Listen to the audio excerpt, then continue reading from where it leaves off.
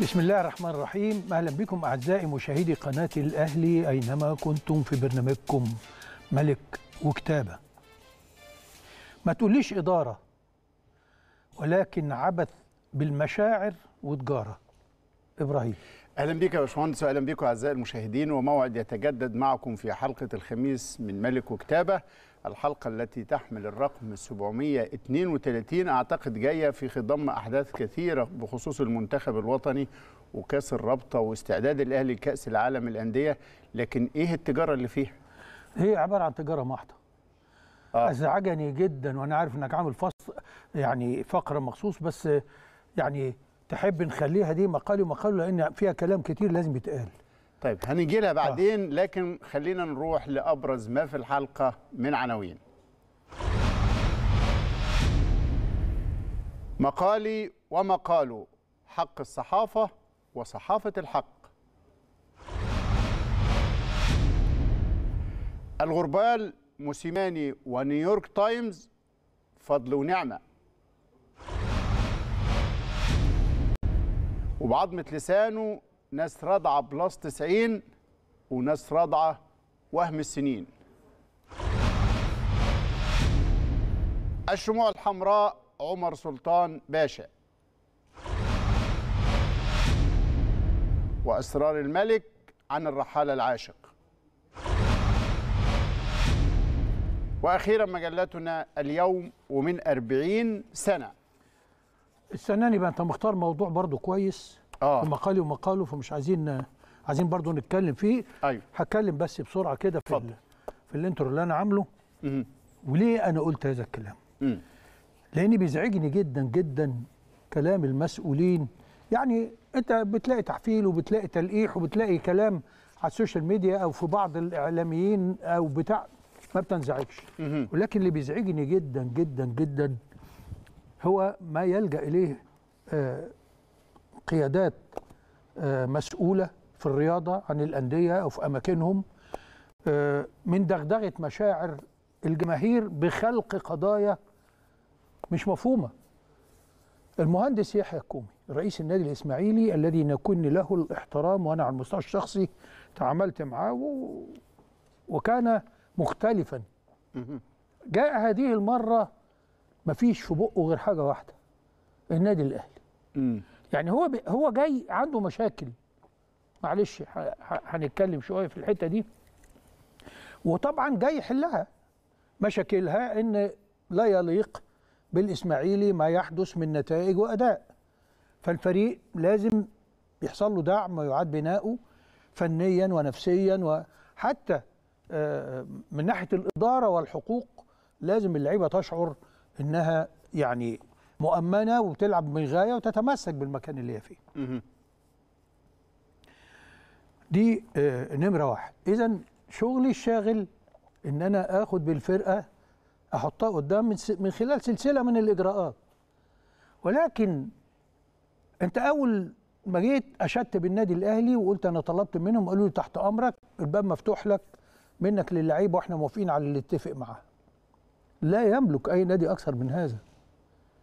فأشاد بالنادي الأهلي. وفجأة هجوم ضاري على النادي الأهلي. إن النادي الأهلي مش واقف معانا. اول رسالة سلبية تتصدر. ما هو بص يا أستاذ إبراهيم كلما بدا في الأفق من بعض العقلاء وأصحاب الحق والرؤية السليمة والفطرة السليمة إنهم يقولوا كلمة الحق كابتن علي أبو جريشة كابتن سيد بازوكا و و و ويطلعوا يقولوا حقائق الإفتراءات التي يعني زرع بها الفتنة عن عمد آه، أصحاب المصالح بين الأهلي والإسماعيلي. الدنيا بتهدى والأهلي فاتح دراعاته وعايز يعمل اللي يقدر عليه. ما تقدرش تقول للعيب لازم تروح لا تملكها.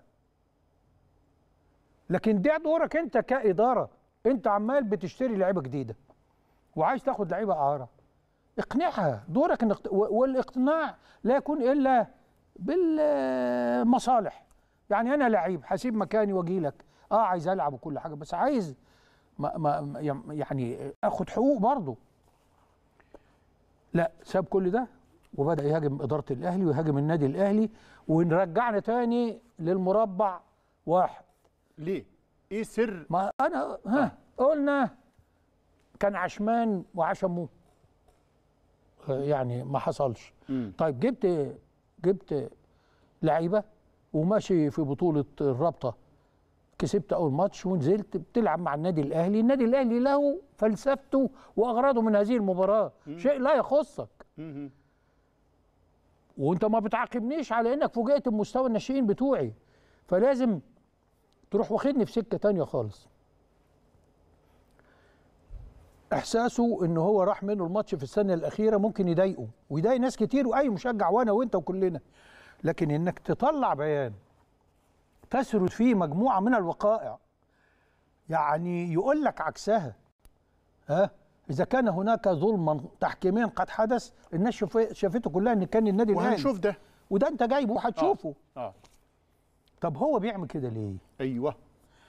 يطلع بعد كده يبني على هذا الموقف ها؟ في أحاديث بقى. هو ده بقى اللي إيه؟ أيوة. بتوضح. آه. هو أنا بعمل كده ليه؟ آه. لا وأنا أنافس الأهلي إزاي؟ يا عم دي مش أولوياتك النهارده إنك تنافس الأهلي. أنت أولوياتك تعيد التنظيم والبناء وخلق الحوافز واستقرار الفريق. ما تبيعليش الوهم. أنا بكلم كلامي بقى للجماهير العاقلة التي تسمعنا الآن. أي مسؤول بيجي في ظل أزمة بيبقى نمرة واحد يخرج من الأزمة. فلازم يبقى له أولوية. إنما تيجي تقول لي أنا نافس الأهلي إزاي؟ ما حدش حاسبك على إنك هو أنت ليه مش بتنافس الأهلي النهارده؟ وبعدين يرميها على الأسباب الاقتصادية ويقول لك مفيش عدالة في التوزيع. هكلمه كرجل اعمال يا أستاذ إبراهيم. أه، لا الحتة دي عشان.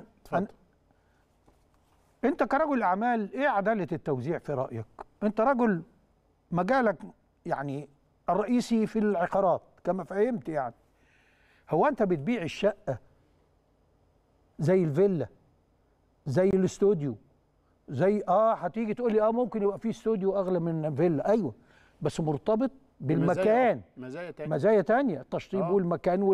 والقيمة التجارية التي يح... إذا التساوي مش في سنة الحياة. أيوه. لا الأديان. بتقول لك التساوي بتقول لك التكافل. أيوه. فارق كبير. أيوه. والتكافل هنا يأتي بالتطوع ويأتي من دور الدولة. فما تيجي انت تيجي تقول لي وزارة الشباب لا انت بتدي بقى الإعانات بناء على إيه؟ ممكن تديها بناء على الاحتياج تديها بناء على أرض الواقع بالتساوي كل ده مقبول منك. لكن تيجي في القيم التسويقية يا أستاذ إبراهيم وفي العمليات التجارية التي يجيدها المهندس يحيى الكومي والتي لا يمكن يكون بيمارسها في عمله إنه يوزع كل شيء بالتساوي حتى في شركاته مش هيدي كل الناس زي بعضها هينقي ناس يديها مزايا ويديها حوافز لأنها بتشتغل وبتكسبه. كلمة ال brand أنا وأنت نعرف ال brand يعني إيه؟ يعني الصنف المميز اللي بمجرد ما تشير إليه قيمته العلامة البارزة. آه، العلامة التجارية البارزة اللي ليها ثمن بالظبط. brand. مم. ماركة سيارات مشهورة جدا. ما تتساويش كل ماركات السيارات ببعضها. طبعا. حتى في الماركة المشهورة آه. في فئات طبعا. في كماليات. صحيح. كل ده موجود في الرياضة. طب هتقول لي في الرياضة إزاي؟ هقول لك النادي الاهلي اللي بقاله 111 سنة مثلا ها عبر تاريخه تراكمات المواقف تراكمات الأحداث تراكمات البطولات. اتساع الشعبية كل ده عمل له إنه brand. brand دفع فيه دفع فيه وقت دفع فيه نظام دفع فيه جهد دفع فيه آه، آه، آه، تمسك بالتقاليد أحيانا تضحيات كتيرة جدا ثم أنفق كثيرا عشان يحقق البطولات. هتيجي تقول لي الفلوس ومش الفلوس والقيمة التسويقية هو هو النادي الأهلي متفوق بس في السنين الأخيرة ده من 48 قبل الاحتراف لحد ميعاد الاحتراف النادي الأهلي. يحقق آه، النتائج ال- ومحدش يتكلم بالعكس لم يكن يوما عنده السلطة أو النفوذ إن ياخد لعيب غصب عن حد وينقله من هنا لهنا. بالعكس لعيبة النادي الأهلي نفسها كانت بتتاخد منه. ولكن هناك شيء ما حدث في النادي الأهلي جعل إن في جذوة روح تقاليد آه، شخصية خلق أهداف كل دي بتعوض أي أمور أخرى فما تيجي تقول عايز تقول لفرقتك إن ال- ال- ال- ال- الاسماعيلي اتظلم لأن الأهلي بياخد. فلوس أكتر أنت القيمة التسويقية بتاعتك ملهاش دعوة بالنادي الأهلي أنت ارفعها ويوم ما ترفعها وتتجاوز النادي الأهلي ح... يعني تاني. العلامة التجارية الراجل اللي بيجي يعمل الإعلان بيشوف كم واحد هيتفرج عليه. طبعا. فاللي عنده الشعبية الأكتر اللي عنده المتابعة الأكبر اللي عنده آه، آه، آه، الإثارة الأكتر بيلم. الشغف العام أكتر. آه، الشغل فأنت ما, تجيش تقول لي لما تيجي تقول لي أنا كمعلن أنا عايز زي زي النادي هقول لك بأمارة إيه؟ اشتغل واقنعني إن أنت عندك مقاومات أكتر. للأسف ده كلام بديهي قوي يعني. مش بديهي هو بديهي بس أنت لما بتسوق بتسوقه لمين؟ للناس اللي مشاعرها سخنة آه. اللي عايزة تصدق أي حاجة. وهم وخلي بالك لما يجي واحد في مدرج مثلا يرفع جزمة ولا يشتم ولا يعمل أنا بعتبره ده راجل ضحية. ضحية. تم العبث بعقله أو هو واحد من اتنين. يكون من إخواننا اللي بيزرعوا الفتنة. آه. هو مش إسماعيلاوي لكن عايز يعمل حاجة تخلي آه تخلي الناس تعرف إن في خلاف. لسه لأ. اوعوا تصدقوا إنه هيبقوا أصحاب. بعدين أسأله سؤال. هو أنت زعلان من النادي الأهلي مثلا؟ مثلا يعني. لأنه ضحك عليك ما كسبتش معاه في كل عمليات التريدنج والتبادل وانتقاء اللاعبين وتبادل اللاعبين. انت كل عملياتك مع النادي الأهلي رابحة فنيا رابحة ماديا كل حاجة. ما خدش منك حاجة بشكل مباشر دون أن تحصل على أكثر مما طلبت أو كنت تتوقع أثناء التفاوض. هتيجي تقول لي زي ما بيتقال ما في نغمة لسه هتطلع أو طلعت أو ابتدت تبان. لعيبة الأهلي ولعيبة الإسماعيلي و و و. لما تيجي تقول له طب ما أنت خدت مني فضل وابراهيم سعيد وعصام الحضري يقول لك ما خدت أكتر من اللي أنا خدته. لا استنى هيقول لك ما, ما أنت أنت سبتهم. حلو قوي طب ما أنت سبتهم. آه. هو أنا ما خدتش منك حد غير بفلوس. اللي خدته منك خدته من أندية تانية. صحيح. أنت عايز تعتبر إنه مجرد ما يمر عليك يحرم عليا. مين قال هذا الكلام؟ وإلا كان حرم عليك لعيبتي بالعكس أنت خدت مني الكابتن عصام الحضري في ظل خلاف مرفوع في قضية أمام ال- ال- ال- المحكمة الدولية. أنا ما عملتش معاك كده. بالعكس أنا لما كسبت القضية من خلال ستراسبورج قلت الكابتن حسني اتفضل حاجتك أهي. أنت رجعت غيرت كلامك وما وما تعاقبناش. أنا ليه بقول الكلام ده؟ لأن عايز الناس تفكر. عايز الناس تفكر. انت طبعا الفقر في بالتفصيل هت هتوري مين المضار ومين صحيح. صحيح. لكن أنا مثلا آخر حاجة بقى هو أنا جيت مثلا عملت معاك وضحكت عليك وضللتك وخدت منك لعيب. انت كاتب شرط جزائي على نفسك بمبالغ لا تستطيع سدادها. فتبيع اللعيب بمبلغ أقل من الشرط الجزائي اللي انت موقع عليه. فيعني هو هو ضحك عليك خد منك لعيب لبسك 20 ولا 25 مليون جنيه وقرار بخصم نقاط الموسم الماضي والموسم ده. إذا ما اتحلش الموضوع ما عملش معاك كده بالعكس.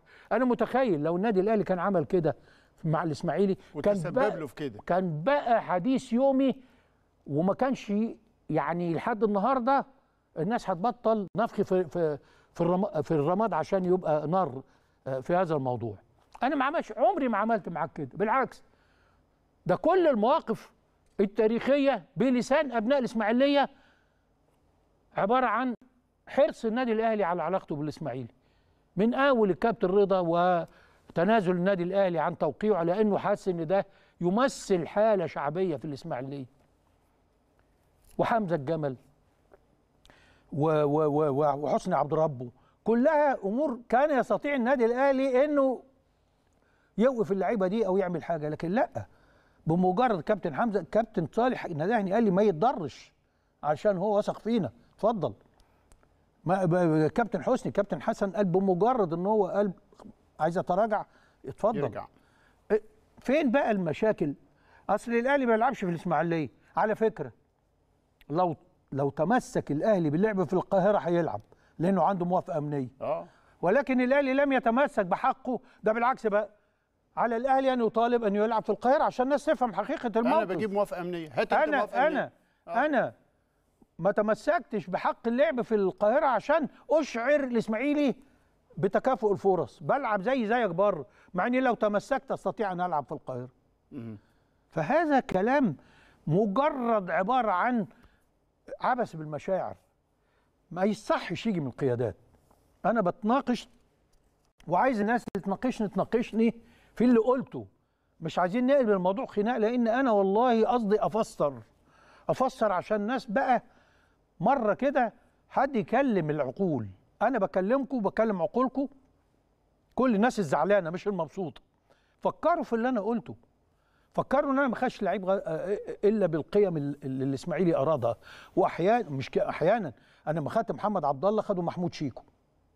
وفلوس. أنا لما خدت عبد الله السعيد خدوا. فلوس. آه، و- وصديق أحمد صديق. آه، لا ده شريف عبد الفضيل. آه. وفلوس. آه. آه، آه، آه، عبد الله سعيد بفلوس. أيوة.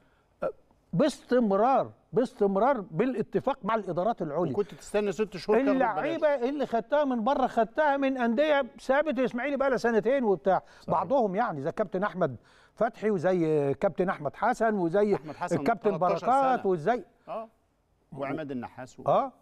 على, على. الرغم إن كل اللعيبة اللي خدت وسيد معوض اللعيبة دي كلها أنا كنت متكلم معاها ها؟ ورفض يبيعها. وتوجهوا للإسماعيلي. وبعد الإسماعيلي لما سابوا متوجهوا أنا خدتهم. فمن فضلكم يا أهل الاسماعيليه الكرام الذين نكن لهم كل تقدير خدوا الكلام ده واهضموه وافهموه. طيب ده كان كلام مهم جدا لكن بمناسبة حتى نجوم الاسماعيليين الإسماعيلي اللي انتقلوا للأهلي خلونا نشاطر الكابتن عماد النحاس نجم النادي الأهلي السابق والمدير الفني السابق أيضا للمقاولين العرب الأحزان في وفاة والده. رحمة الله عليه الحقيقة عماد الفترة اللي فاتت كان بيتابع تحمل، آه. وبيتحمل معاناة والده. كان والده أصيب بمرض الرئة في أو مرض السرطان الرئة. وفضل عماد ما بين عمله في المقاولين العرب كمدير فني وما بين بلده مغاغة.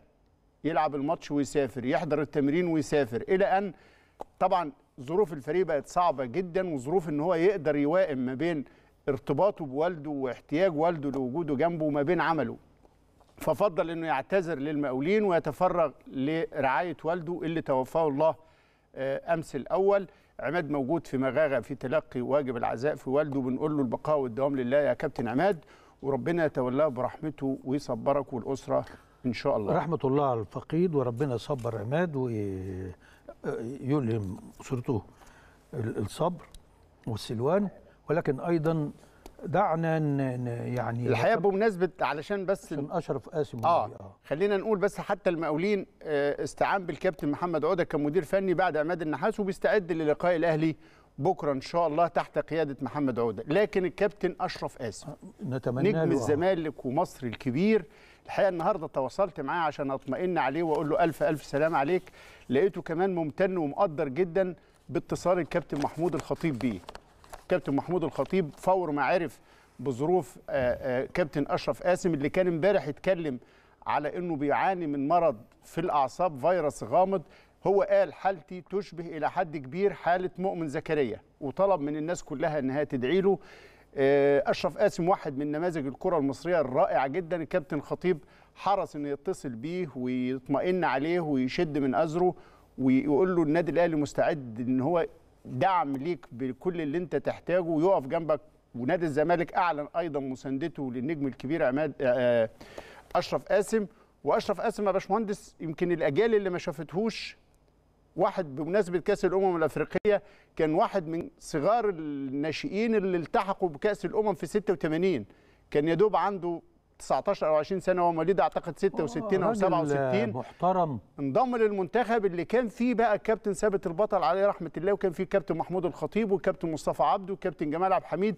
لعب هذا الناشئ الموهوب مع هؤلاء الكبار جدا في بطولة 86 في القاهرة اللي مصر فازت بيها وكان واحد من عناصر الكرة المصرية البارزين بنقول له ألف ألف سلام عليك يا كابتن أشرف وإن شاء الله تعالى ربنا يمن عليك بالشفاء زي ما بندعو أيضا للكابتن مؤمن زكريا. مؤمن أيضا رايح رحلة علاج في لندن بيعول عليها كتير. نتمنى إن شاء الله تعالى لمؤمن سرعة الشفاء بإذن الله. صبر كتير مؤمن وعانى وقاطع مشوار كبير في العلاج. بنتمنى لهم يا رب كل الشفاء بإذن الله. هذه الحالات الطارئة المكلفة يا باشمهندس. ما تدفعكش لضرورة إيجاد حل من صندوق رعاية استثنائي لمثل هذه الحالات. يا أستاذ إبراهيم آن الأوان للتأمين على اللعيبة. امم أما صندوق الرعاية كل ده يعني مضطر له لأن مفيش ولكن اللعيبة النهاردة بتاخد مبالغ تسمح مهم. أنها يتعمل لها بوالص تأمين بالمشاركة مع مؤسساتهم حتى بعد اعتزالهم؟ بعد اعتزالهم. ما هو بوليس التأمين دي زي ما تحط فيها الحياة. الشروط اللي أنت عايز. لا في بعضها وقتي آه. وفي بعضها مدى الحياة. التأمين أصبح للرياضي ضرورة. مهم. والمبالغ اللي انت بتقبضها النهاردة بتسمح وتتيح ليك وللنادي اللي بينفق عليك كل هذه المبالغ. يعني ما الأندية دلوقتي بتعالج بكام يا أستاذ إبراهيم؟ انت لازم لازم ولكن هي التقصير الحقيقة من شركات التأمين أنا حاولت كتير. ويجوا يقعدوا معايا بتاع بعدين أقول لهم طب روحوا بره وجيبوا سيستر كامباني من هناك. أو يعني آه، شراكة مع أي شركة خدوا منها نظامها وبعدين في حاجة اسمها يعني back to back. insurance يعني أي. تأمن عليا وأنا آه، شركة تامين تأمن على تأميني مع آه. شركة يعني تبادل. خلاص بي بي بي بيوزعوا احتمالات الخسارة بطريقة أكثر امنا. لكن التأمين هو اللي يخلي الناس تلعب لأن مش معقولة اللعيب يبقى بياخد هذه الملايين وبعدين فجأة يحرم منها. طيب بالمناسبة برضو الكابتن بدر بنون. ناس كتيرة اتكلمت على بدر بنون في الفترة اللي فاتت. كان في اجتهادات كتيرة وفي كلام ورغي كتير جدا. لكن حقيقة قلب بدر بنون إيه؟ بدر بنون أصيب بكورونا مرتين. هذه الإصابة من توابعها سابت نوع من الالتهاب على عضلة القلب. وهنا أنا بق- بقول لكم كلام طبي. التهاب على عضلة القلب مش ضعف في عضلة القلب. وده حاجة زي الالتهاب الرئوي بالظبط. لكن رخم شوية ويحتاج للراحة. ملوش علاج إلا الراحة. الراحة يحتاج فترة طويلة جدا. تقريبا هيغيب بدر عن الملاعب مش أقل من شهرين. الفترة دي بيعمل من آن لآخر آه، أشعات هو كان خضع لأشعة في الكاميرون. آه، التشخيص اللي حصل من الدكتور طبيب الجهاز ال- الطبي المغربي توافق مع نفس تشخيص الدكتور أحمد أبو عبلة هنا. فتم الاستقرار على إنه الحالة هي هي آه، التهاب في عضلة القلب تستوجب الراحة التامة. بدر حب يفضل موجود مع زمايله لاعبي المنتخب المغربي. في الكاميرون برغم خروجه من قائمة البطولة لكن هو مبسوط من أجواء البطولة كانوا استبعدوه وحطوا أشرف بن شرقي تعبان يا مكانه. أستاذ إبراهيم بتحتاج لأسرتك. آه. تحتاج إنك تبقى في وسط ناسك. آه بيحب الأهلي لكن مؤكد هو بيتكلم اللغة دي وبيسمع الكلام ده وال... واجواء كأس الأمم ومبسوط مع زمايله فخلاص ال- ال- الكابتن سيد عبد الحفيظ بالتواصل معاه تم الاتفاق على انه هيفضل موجود في الفترة دي لأنه ما بيتمرنش طبعا ما بيبذلش أي مجهود فقط هو خاضع للراحة. لكن إن شاء الله تعالى بحسب تأكيدات الأطباء وتأكيدات الدكتور أحمد أبو عبلة إنه إن شاء الله هيتعافى منها مش زي ما الناس هولت لكن بشرط إنه يحصل بدر على الراحة الكافية لإزالة هذا الالتهاب على عضلة القلب وبإذن الله تعالى بعد شهرين يرجع بدر بنون بكل قوة وقلبه يكون سليم إن شاء الله. بدر بنون بهذه الحالة يتأكد غيابه عن الأهلي في كأس العالم ده حاجة غريبة جدا وغامضة جدا جدا. يعني إصابات عجيبة بت بتلاحق نجومك وفي أماكن شديدة الحساسية زي ما تكون هي ناقصة يعني. حتى أنت لما بتيجي تلعب في كأس الرابطة مم. راجع لك صلاح محسن أيوة. من إصابة وعمل ماتش. بذل في في آخر دقيقة في المباراة تتجدد الإصابة ويحتاج شهرين تانيين. مم. يعني يعني مش معقول اللي بيحصل ده. مم. آه، هنشوف بعض الفيديوهات عن بدر بنون الحقيقة أو لا هنشوفها بعدين في ثنايا الحلقة. لكنه صلاح محسن اللي حضرتك أشرت إليه هو كان بيعاني برضه من إصابة في في مشط الرجل. أصيب في المباراة اللي لعبها مع الجونة بشرخ.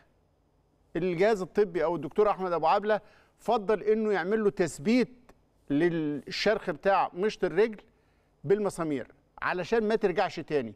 عمل له هذه العملية عملية التثبيت هيحتاج تقريبا لاخر حوالي شهرين يرجع الفكرة. بعد يوم وفي للملاعب بعد في شهرين الماتش وده. بيقودنا الناس مستغربة هو موسيماني مش مش بيشرك مجموعة من الناس اللي يجب إعدادها مم. آه الله يكون في عونه ياخد قرارات إزاي يعني مم. هو طبعا التجربة ماشية بنجاح لأنه ممكن يحتاج عنصر أو اثنين أو ثلاثة من العناصر اللي عمال بيدعمها وبي من قطاع الناشئين يعوض بعض الغيابات دي.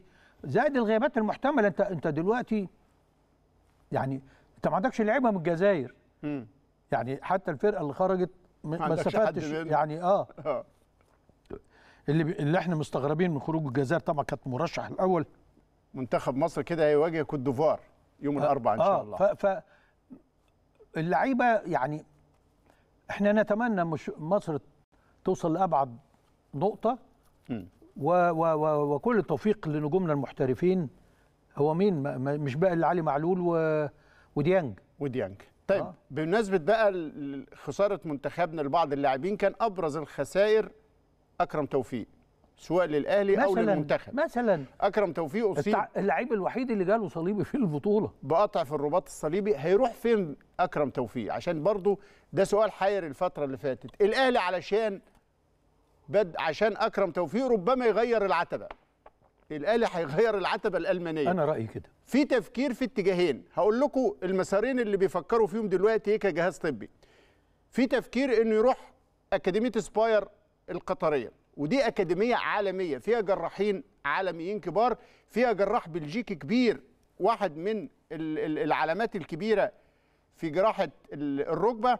بيتعالج فيها كل لعيبة الخليج وكل لعيبة الشمال إفريقيا حتى لعيبة الرجاء والترجي والجزائر كلهم جراحات الركبة بالنسبة لهم في سباير تحت أو تحت إشراف ال- الطبيب البلجيكي اللي موجود في سباير.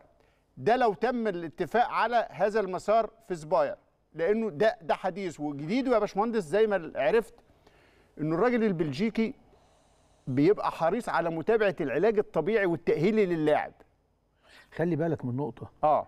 سباير اللي فاتكم واللي جايكم تاني. آه. سباير دي هتكون موجودة أثناء كأس العالم. طبعا. ففي حرص شديد إن يبقى عندهم أعلى مستوى طبي. طبي سواء من الأجهزة أو التقنيات آه. أو أو أو ال technician. آه. الدكاترة ووسائل الإعداد هو أنا رأيي هيبقى اختيار لأن يهمهم إن يقولوا عندنا ما تقلقوش يعني في تنظيم كأس العالم لازم يبقى في مركز طبي على هذا المستوى. أو يعني زي ما كانش سباير لو لازم ألمانيا فمش زي الحل التقليدي بتاع شيفرهوف ووترهوف والدكاتره الألمان اللي الناس اعتادتهم والناس تحفظت برضو على هذا المسار. هناك طرح طبي آخر إنه في بروفيسور ألماني كبير دكتور كريستيان فينك ده واحد من الجراحين الكبار الألمان اللي فيه جراحة من جراحات الركبة معمولة باسمه يعني كنظرية علمية لجراحات الركبة متسمية باسمه كبروفيسور كبير. فإذا كان بالضرورة تروح ألمانيا هنغير العتبة بتاعه شيفرهوف وهتروح لكريستيان فينك. إذا ما كانش هيكون الأكاديمية سباير الطبية العالمية في الدوحة وحتى الآن الأمر بيدرس هيروح سباير أو هيروح ألمانيا لحد الآن لم يتم وإن كان تم الانتهاء من تأشيرة سفر آه، أكرم توفيق لألمانيا علشان تكون كل الأمور جاهزة لغاية اللحظة الأخيرة اللي الجهاز الطبي يعني هياخد قراره فيها. أكرم آه، قال كلام طمن شوية. مهم. قال أنا كل الاربطه عندي سليمة الغضروف سليم هو بس الرباط. أيوه. فيعني الرباط صليبي. آه، وهو الرباط الأمامي مش الخلفي. فيعني أو هو الصليبي كان حريص حتى. يروح كان حريص إنه يروح يزور اللعيبة ويقابل معنوياته الجهاز. عالية. ما ده آه. لسه كنت عايز أقول لك. آه. اللي يطمنك على على هذا الشاب الحديدي إنك تشوف معنوياته عاملة إزاي. مم. إيمان جبار بالقضاء والقدر. شوف الابتسامة الحلوة زي ما يكون هو اللي بيطمنهم. آه. ها؟ زمايله والجهاز آه. كله بيستقبله بالأحضان. يعني هو شخصية جميلة جدا. آه يعني آه، بخته باذن الله يكون كويس مش وحش. إن شاء الله. ويرجع أحسن من الأول. آه لكن جات له في توقيت كان العالم كله ينظر إليه. صحيح. الناس كلها اهتمت إنها تدعم أكرم توفيق وكان الدعم الحقيقة ال- اللي له معنى الكابتن أحمد فتحي. لأنه أحمد فتحي واحد من أبناء هذه المنطقة ال back right واحد من اللي أكرم توفيق الناس شبهته بيه. أحمد فتحي حرص على دعم آه، أكرم توفيق ونشوف قال له إيه. أحمد آه، back right فتحس بالإحساس ال- اللي حسوا بيه أكرم ومركزك ومكانك في المنتخب. في البداية كده تحب توجه رسالة لأكرم توفيق اللي جاي بكرة مصر؟ لا أنا أكرم طبعا من الشخصيات اللي أنا أنا بحبها جدا وهو كان في الأهلي معايا. كنت دايما أكلمه عشان هو أصلا مجتهد من لعيب راجل ما ما بيهزرش في التمرين حتى في الماتشات كده. هو التمرين بتاعه زي الماتش ف يعني هو يعني شبهي شوية. عشان أنا كده أنا ولا بهزر في التمرين ولا بهزر في الماتشات فكنت دايما أكلمه و... و... وأنصحه على طول وهو من الشخصيات الجميلة اللي بتتقبل. لكن عايز أقول له قدر الله ما شاء فعل في الآخر ده نصيب والإصابات دايما واردة للعيب الكورة. خلاص الإصابة حصلت هو يفكر إيجابي اللي هو إن شاء الله يرجع أحسن من الأول وإن شاء الله يرجع أحسن من الأول ودي أهم حاجة أهم حاجة يعمل عملية وإن شاء الله يكون سليمة دي أهم حاجة وبعد كده يبدأ التأهيل. واحدة واحدة ونصيحتي ما يستعجلش. ما يعملش زي دايما في أنا عملت خمس عمليات كنت دايما مستعجل.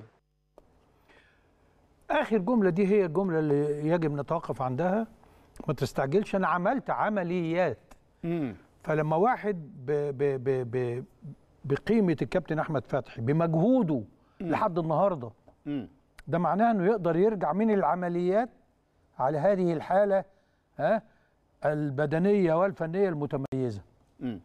بس ما تستعجلش وأنا يعني أرى مش هو بس أي إصابة لا يجب التعجل فيها طيب الجهاز الطبي للأهلي كمان عشان ظروف كورونا حريص في الفترة ديت إن كل اللعيبة يتعمل لها بشكل دوري مستمر بالذات اللي راجعين من إصابات كورونا. رنين على القلب وأشعة مقطعية على الصدر عشان يطمن على حالة حصل ده مع بيرسي تاو وحصل مع لويس ميكيسوني وحصل مع كل الناس اللي رجعت من إصابات الكورونا عشان يكون مطمئن تماما على حالتهم. يمكن الناشئ حتى المدافع اللي لافت النظر الحقيقة محمد خليفة نصير. الوحيد النهارده اللي طلعت مسحته إيجابية قبل مباراة المقاولين فبيغيب بسبب مدافع كورونا. هايل جدا جدا عجبني جدا. صحيح. جدا. آه. يعني تقدر تطمئن له وتعتمد عليه النهارده. مم.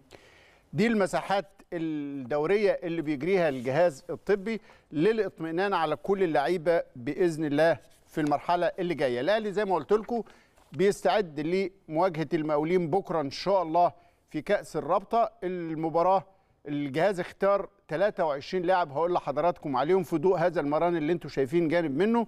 مصطفى شوبير المتألق الحقيقة اللي قدم أوراق اعتماده للجماهير بشكل لافت جدا ومعاه حمزة علاء الحارس الموهوب ومصطفى مخلوف أيضا الحارس الثالث الصاعد ومحمد أشرف ومحمد مغربي وعبد الرحمن نجاح مانو ومحمد أحمد شرقية وعبد الجواد عبد الرحمن وميدو نبيل ومصطفى أبو الخير وكريم فؤاد وأحمد سيد عبد النبي. وأحمد أشرف ومحمد محمود ومحمد فخري وعمار حمدي وصالح نصر ورأفت خليل وأحمد سيد غريب وزياد طارق ومحمد ياسر وحسام حسن ويوسف شريف. القائمة واضح جدا إن ال 23 لازال الجهاز حريص على نفس العناصر الشابة. يمكن كان في تفكير إنه يضم ليهم بعض العناصر الناقحة اللي خفت من الإصابات وكورونا المختلفة لكن واضح جدا إنه مستر بيتسو موسيماني بيفضل ادخار وإراحة العناصر الكبيرة زي حسين الشحات وزي طاهر محمد طاهر وزي آه، بقية العناصر الأساسية بيرتي وبيرسي تاو كلهم بيفضل ورامي ربيعه بيفضل الجهاز وياسر إبراهيم بيفضل ادخارهم مع وليد سليمان للفترة اللي جاية. الأهلي بيحتل المركز الرابع بنقطتين من تعادلين مع الجونة والإسماعيلي وهذه المجموعة بيتصدرها الإسماعيلي بأربع نقط. الجونه عنده نفس الرصيد. المقاولين عنده ثلاث نقاط. سموحة الخامس برصيد نقطة والبنك الأهلي السادس بنقطة واحدة. لكن الأهلي زي ما أنتم شايفين أهدافه من المشاركة في هذه البطولة مختلفة. ل- نقطة واحدة إزاي؟ الاهلي نقطتين. الاهلي نقطتين. طيب. لا أنا بقول لك البنك الأهلي. آه. آه. لا قلت الأهلي. لا لا البنك الأهلي. المران في جلسة جمعت كابتن سيد عبد الحفيظ مدير الكره مع مستر بيتسو موسيماني لمناقشه كل الأمور الإدارية لترتيبات المرحلة الماضية. المران انتظم فيه لويس ميكسوني لاعب الفريق بعد ما آه، ثبتت آه، المسحة السلبية بالنسبة له. عمل بيتسو موسيماني محاضرة بالفيديو للعيبة قبل مباراة المقاولين وخض بقية اللعيبة جانب من التدريبات الاستشفائية والتدريبات الخططية. بكرة الجمعه إن شاء الله مباريات هذه الجولة الإسماعيلي بيلعب مع البنك الأهلي وسموحة بيلعب مع الجونة والأهلي بيلعب مع المقاولين. المجموعة الأولى اتلعبت فيها النهارده ثلاث مباريات Eastern Company مع الاتحاد السكندري وبيراميدز مع المصري المصري فاز و Future فاز على المقصة. قبل هذه الجولة آه، زي ما قلت لكم البطولة الأهلي له حسابات أخرى من خلالها. لكن الحقيقة يمكن النقطة المهمة اللي بتزعج الجهاز الطبي للأهلي شوية مخاطر كورونا من الرابطة. الرابطة خطر شوية لسبب. طبعا في ظل المصاريف الكتيرة اللي المكتب التنفيذي لرابطة الأندية المحترفة بيتحملها بيتحمل كل الأعباء بما فيها التحكيم فما كانش حد مركز على موضوع كورونا. مفيش إجراءات احترازية مفيش اشتراطات طبية مفيش مسحة كل الفرق بتلعب مع نفسها. هنا كل الناس عندها وقت كافي لكن لعيبة الأهلي الخطورة إن أنت خلاص أيام وتسافر لقطر للإمارات عشان تشارك في كأس العالم للأندية. أستاذ إبراهيم. فاي إصابات عندك مشكلة؟ الموضوع آه متساب للأندية. آه. الأندية أصحاب مصلحة إنها تحمي لعيبتها بإجراءات سلسلة من الإجراءات. مهم. المشكلة إنك أنت بتتعامل مع فيروس دائم التحور. مهم. فكل ما تيجي تتقي ال ال الفيروس المتحور الجديد أيوه. ما سريع يعني سريع الانتشار. مهم. ومفيش بيت بمعنى مفيش بيت حوالينا ها؟ أيوه. بما فيها إحنا أيوة. وحضرتك كل اللي حواليك في الفترة اللي فاتت خلال الشهر الماضي ده ما حصلش فيه حالة واتنين كورونا. آه ما بتجيش بنفس العنف لكن بتيجي. وما أنتش عارف النهارده هو واحد يقول لك جاله التهاب على أنا أول مرة أسمع التهاب القلب ده. ارتفع عضلة القلب. هو مش القلب نفسه العضلة آه. جزء من القلب يا إبراهيم يعني. آه. التهاب. أيوه ده جديد. تداعيات كورونا إنها تبتدي تخش على اجهزه وعلى المعدة وعلى الرئة. كان على الرئة الأول. مم. إنما دلوقتي تخش في حتة تانية أنت مش عارفها. مهم. ربنا يلطف بينا يا رب. والبشرية بقى لازم تقعد كلها تصلي وتعتذر عن أخطائها وتتقي الله شوية لانها أهو أهو حاجة تافهة جدا مربيه العالم كله. صحيح. طيب الكابتن محمود الخطيب رئيس النادي حرص النهارده على عقد اجتماع مهم مع مدير الأكاديميات المختلفة في مختلف الألعاب. الاهلي بيرعى عدد كبير من أكاديميات ال- الألعاب الأخرى. حضر كابتن محمود الخطيب هذا الاجتماع مع مديري الأكاديميات وحضر معاه الأستاذ العمري فاروق نائب رئيس النادي والمهندس خالد مرتجي أمين الصندوق والدكتور سعد شالب المدير التنفيذي والكابتن رؤوف عبد القادر مدير عام النشاط الرياضي اللي بنشاطره الأحزان في وفاة شقيقته للفقيده الرحمة وللكابتن رؤوف والأسرة ده أنا خالص التعازي أنا أنا زي ما خدتش بالي. آه. ده أنا ده أنا مكلمه آه. قبل ما أجي وما ونسيت عزتوش. تعزيه. أعتذر والبقاء لله وإذا قصرت فيبقى لقصور المعلومات. خلال الاجتماع مع مديري الأكاديميات الكابتن خطيب تعرف على المقترحات اللي قدمها مديره الأكاديميات. طلب منهم رفع هذه المقترحات في خلال 10 أيام عشان يتم صياغة آه، نهضة جديدة في أداء الأكاديميات اللي النادي الأهلي بينشد من وراءها تفعيل دوره في خدمة أبناء النادي لأنه غالبية الأكاديميات سواء منهم أبناء الأعضاء أو من خارج النادي الأهلي عنده دور كبير جدا في رعاية النشء وتربيتهم التربية الرياضية اللي تليق بالنادي الأهلي. كابتن محمود الخطيب أيضا أرسل خطاب إلى السيد حمدي المؤدب رئيس نادي الترجي الرياضي التونسي لتهنئة النادي الشقيق ومجلس إدارته وجماهيره بمناسبة مرور الذكرى 103 على تأسيس الترجي. وأعرب الكابتن الخطيب عن تقديره الكامل لنادي الترجي صاحب هذا التاريخ الكبير والعريق في أداء دوره الكبير في خدمة الرياضة وكرة القدم التونسية. رد نادي الترجي بدوره على رسالة الكابتن محمود الخطيب برسالة من السيد حمدي المؤدب رئيس النادي عبر فيها بأحر عبارات الشكر والتقدير لمجلس إدارة الأهلي وعلى رأسه السيد محمود الخطيب ولكافة جماهير هذا النادي العربي الشقيق ده, نص رسالة الترجي على التهنئة التي نشرها النادي على صفحته الرسمية على الفيسبوك بمناسبة احتفال نادينا الترجي بعيد ميلاده ال 103 مما يثمن عراقة العلاقات التاريخية بين الناديين الكبيرين. كل سنة والترجي وكل الأندية العربية الشقيقة بخير. ده كان يمكن بعض الأخبار السريعة لدينا هنطلع لفاصل وبعد الفاصل كلام مهم معكم. أهلا بحضراتكم من جديد. نتائج كأس الأمم اللي شغالة. مالي متقدمة على موريتانيا 2-0 وتونس متعادلة مع جامبيا 0-0 حتى الآن، وسيف آه. الدين الجزيري أهدر ضربة جزاء لتونس في الشوط الأول. ده حتى الآن النتائج اللي حاصلة. بمناسبة كأس الأمم خلونا ندعو بالشفاء للدكتور أشرف صبحي وزير الشباب والرياضة اللي كان المفروض هيسافر للكاميرون يدعم بعثة منتخب مصر ويكون موجود معاهم في مباراة الأمس لكن المسحة اللي أجراها قبل السفر مباشرة أثبتت إصابته بفيروس كورونا. بنتمنى للوزير أشرف صبحي كل الشفاء وسرعة وتمام الشفاء إن شاء الله تعالى. اللجنة الأولمبية كمان كانت طلعت بيان آه، تمنت فيه للدكتور أشرف صبحي تمام الشفاء وكل الأندية بتدعو للسيد الوزير بالشفاء العاجل بإذن الله. بمناسبة الموقف في المساندة الرسمية يا باشمهندس السنغال اللي صعدت أول المجموعة ضربت المثل واتحادها الوطني ضرب المثل يا سادة الجبلاية إزاي يتم مساندة اللعيبة الوطنيين حتى في مشاكلهم الخارجية. بابي جاي ده لاعب سنغالي بيلعب انتقل. عنده قضية كانت انت- قضية انتقالات.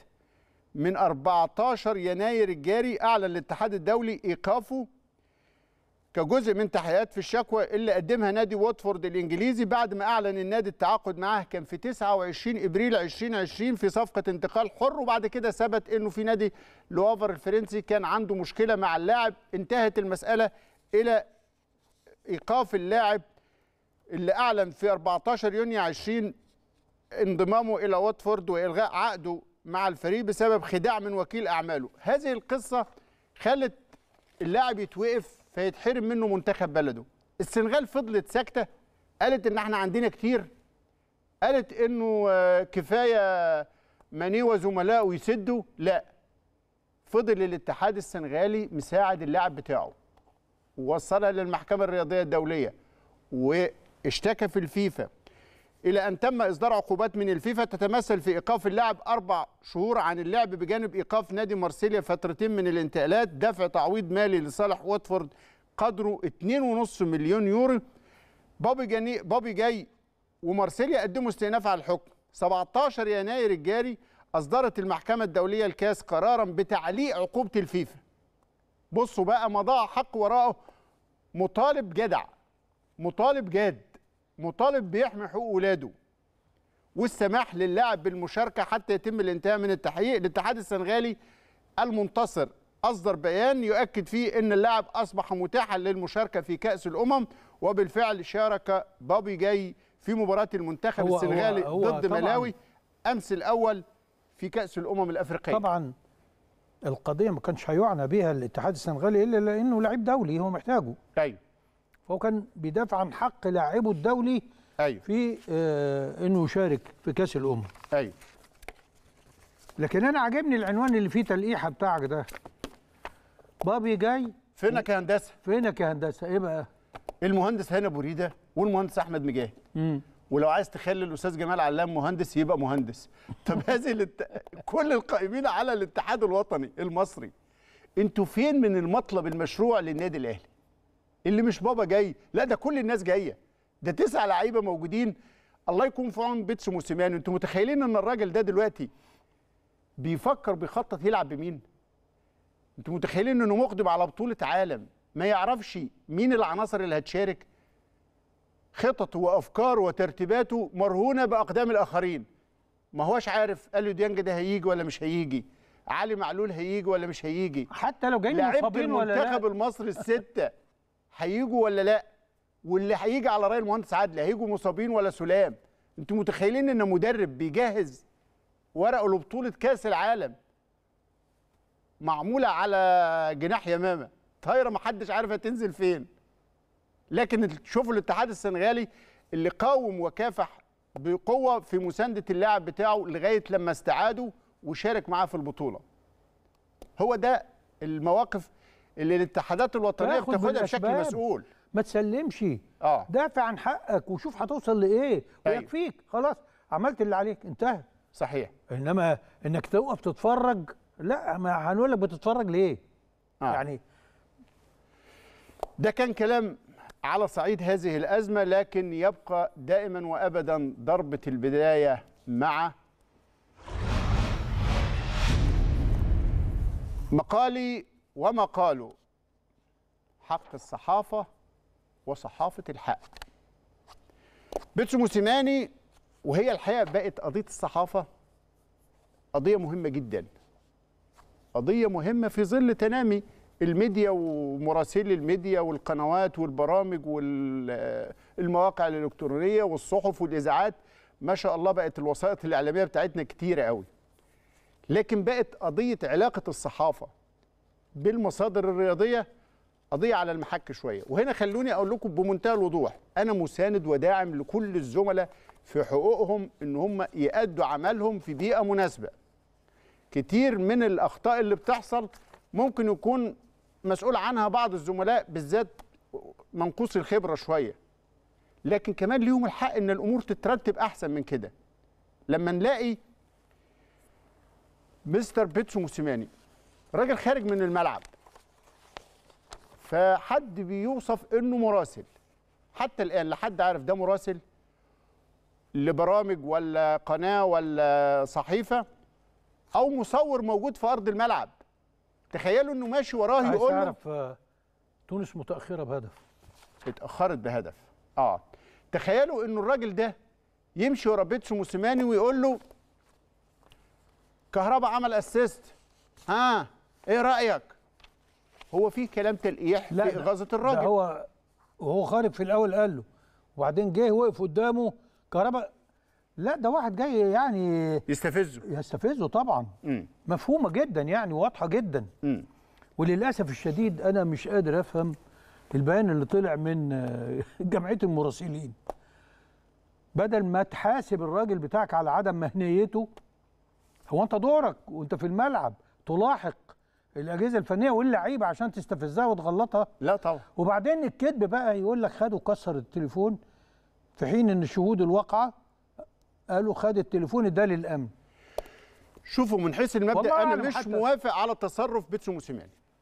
أنا مش موافق على إنه هو ياخد الموبايل من إيد المراسل. ده تصرف خاطئ 100% بس أنت بتتصرف غلط بناء على الغلط. ما هو من حقه. هو أنت يا أستاذ إبراهيم؟ من حقه معلش والله أنت كنت من حقه إنه يخرج آمن لأن في حدود منظمة. كده. في حدود منظمة. أنت كصحفي أو كمراسل. وده مؤتمر صحفي بتسأله لو سؤال. انت عايز تسأل سؤال لبيتسو موسيماني عن المباراة عن المباراة لأن المؤتمر الصحفي خاص بالمباراة. اتفضل ادخل قاعة المؤتمر الصحفي ووجه للراجل السؤال اللي أنت عايزه. بمنتهى الوضوح. أو لو أنت مراسل زي ما بيحصل استدعيه لل zone area واعمل معاه الحديث ثانيا المفروض بقى ده كويس إن القضية دي بتثار في في الجزئية ديت.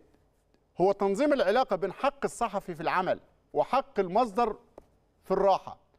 بتنظمها ال- ال- ال- المباريات الكبيرة في ال mixed zone. ال mixed zone الطريق المؤدي إلى غرف الملابس. اللي خارج من الملعب داخل على أوض اللبس دي منطقة mixed zone. بيقف فيها الزملاء ال- ال- ال- المراسلين والصحفيين اللي عايز يسأل سؤال بكلمة للاعب أو لمدرب وهو ماشي حتى أحيانا بيجاوب عليه بكلمة وممكن ما يجاوبش. لكن ده الطريق المؤدي في ال mixed zone للمؤتمر الصحفي. عايز تسأل عايز تتكلم عايز تطرح أسئلة خاصة بالمباراة تاني يكون في. في المؤتمر الصحفي. لكن إن في واحد يلاحق بيتسو موسيماني عايز يغيظه وعايز يضايقه وعايز يقول له كهربا عمل assist إيه رأيك؟ بهدف الإغاظة ده كلام ملوش علاقة بالمهنة على الإطلاق. زي ما قلت لكم على المستوى الإنساني والمستوى الشخصي أنا مش متفق ابدا مع بيتسو موسيماني إنه ياخد الموبايل من إيد الراجل. ده كلام غلط بس هو وصله لدرجة إنه انفعل واتضايق. فده خطأ نتيجة خطأ. زي بالظبط حتى بالنسبة لحقوق الزملاء في المؤتمر الصحفي تاني يوم وكأنها بقت سهلة بقى في العلاقة المتوترة. كارترون مدرب الزمالك الراجل بيسأله سؤال. يقول له آه، هو أنت معاك رخصة تدريب عشان تسألني؟ لا ما هو الصحفي مش محتاج ياخد رخصة تدريب وإلا يروح يشتغل مدرب. ومحدش يعلق على دي. آه. لا بيتسو هو اللي اللي عمل ال... منتهى التهكم منه على حق الزميل في السؤال. صحيح في أسئلة غير جادة وصحيح إن في ناس بتطرح وجهات نظرها وصحيح إن في ناس بتح... بت... بتطرح رغباتها كم... كمشجعين أكتر منه كمهنيين. لكن ما علينا في النهاية على المصدر سواء كان مدرب أو إداري إنه يعرف إنه من حق الصحفي أن يسأل ما يشاء. ما دام الأمر في حدود المباراة وحدود الحدث اللي المؤتمر منعقد علشانه إنما هنعلم الناس تشتغل إزاي وتسأل إزاي ده مش من حق أي مدرب. تقدر تجاوب بلا no comment لا تعليق وده في حد ذاته إجابة. إبراهيم هي الحرية من طرف واحد في اتجاه واحد؟ لا ما أنا بقول يعني أنت استنى بس. آه. عشان أنا أصل الموضوع ده بيستفزني في موضوع استخدام الحريات. كل واحد بياخدها لحقه. مهنة. حبيبي هو آه. عندما تتجاوز حدود المهنة تهدر حقك في التعامل إيه. التجاوز بقى إنك تسألني حاجة بره الموضوع ما هو بره المباراة لا يبقى من حقي أجاوبك بالطريقة اللي تعجبني من حقه ما يجاوبش. من حقه ما يجاوبش لا ومن حقي برضه زي أنت جاي تست... ت... ت... أنت كده بتعتدي على حقي آه. ها وجاي تستفزني آه. من حقي أدي لك كلمتين لو أنت راجل ملتزم في حدود آه، مهنتك ومسؤوليتك والظرف اللي إحنا مجتمعين عليه عشان نجاوب لازم أجاوبك ولازم أجاوبك وأديك احترامك بالكامل. لكن جاي عشان تستفزني؟ لا. انتفت العلاقة. انت أهدرت حقك.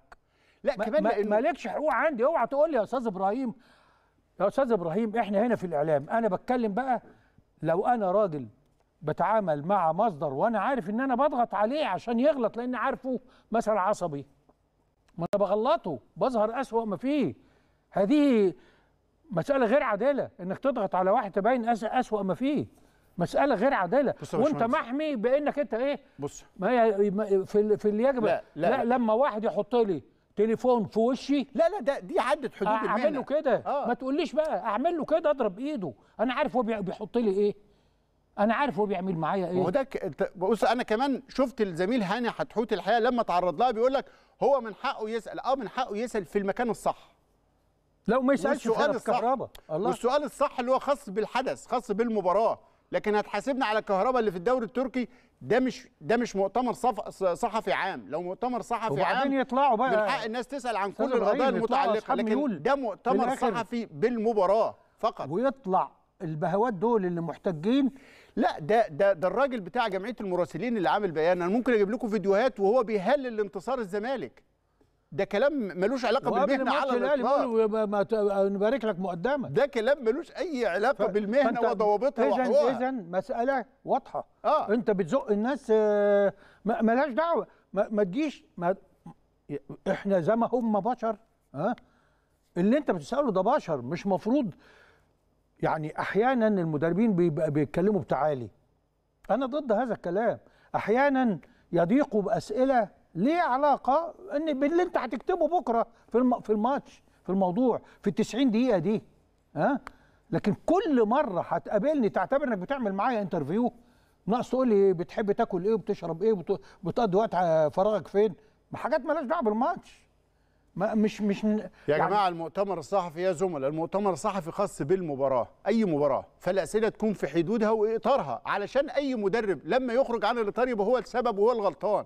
لكن في الحدث وفي المباراة كل الزملاء من حقهم توجيه الأسئلة اللي يرغبوا فيها عن المباراة. زميل وهو بيأدي الواجب بالطريقة دي إحنا إحنا والناس طبعا. طبعا فنحترم حقوقنا عشان نطالب بيها.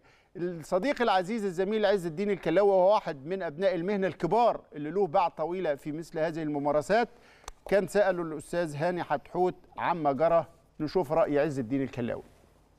النهارده شفنا لقطة لبيتسو موسيماني بعد مباراة الأهلي مع الإسماعيلي. صحفي كان بيصوره بيصور ردود فعله خلال ما بعد المباراة وهو خارج سأله في النهاية سؤال عن كهربا اللي عمل assist امبارح في أول مشاركة ليه مع هاتاي سبور فكان رد فعل انفعالي شديد من موسيماني بأنه خد الموبايل من الصحفي واداه لرجل أمن في الاستاد. شفت إزاي المشهد ده؟ هقول لحضرتك حاجة. أنا أنا طبعا كصحفي بتحيز للصحفيين. تمام. لكن آه، كمان في ال- المهنة ليها ال- ال image بتاعها والبرستيج بتاعها وال ethics بتاعتها. فأنا أعتب على زميلي الصحفي إنه راح للراجل بعد مباراة كان فيها شد عصبي وكان فيها خوف وكان فيها قلق وكان فيها مشاكل كبيرة عايش فيها المدرب ده. خلينا بصرف النظر إن هو مش واخد مكانته على الإنجازات اللي حققها فترة قصيرة. آه. هو المدرب ده صاحب أكبر مشاكل يمكن في العالم في الفترة دي. طب الصحفي غلط في إيه؟ إيه، نمرة واحد مش ده المكان المظبوط إنه يروح يقابل فيه المدرب في على خط الملعب وهو خارج.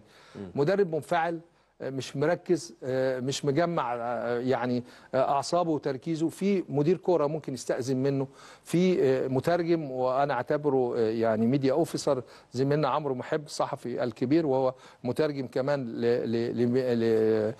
لموسيماني. فكان ممكن يروح ينسق معاه أو يستأذن منه عشان تبقى المسألة مرتبة عشان يحافظ على ال- الإيمج بتاعته. لكن كمان الخطأ موجود من الزميل في إنه ما قدرش الموقف. وده كلام بقى في المهنة. آه. صحفي محترم. لا كان كان يقول قول الحق لسان الحق بطريقة مهنية.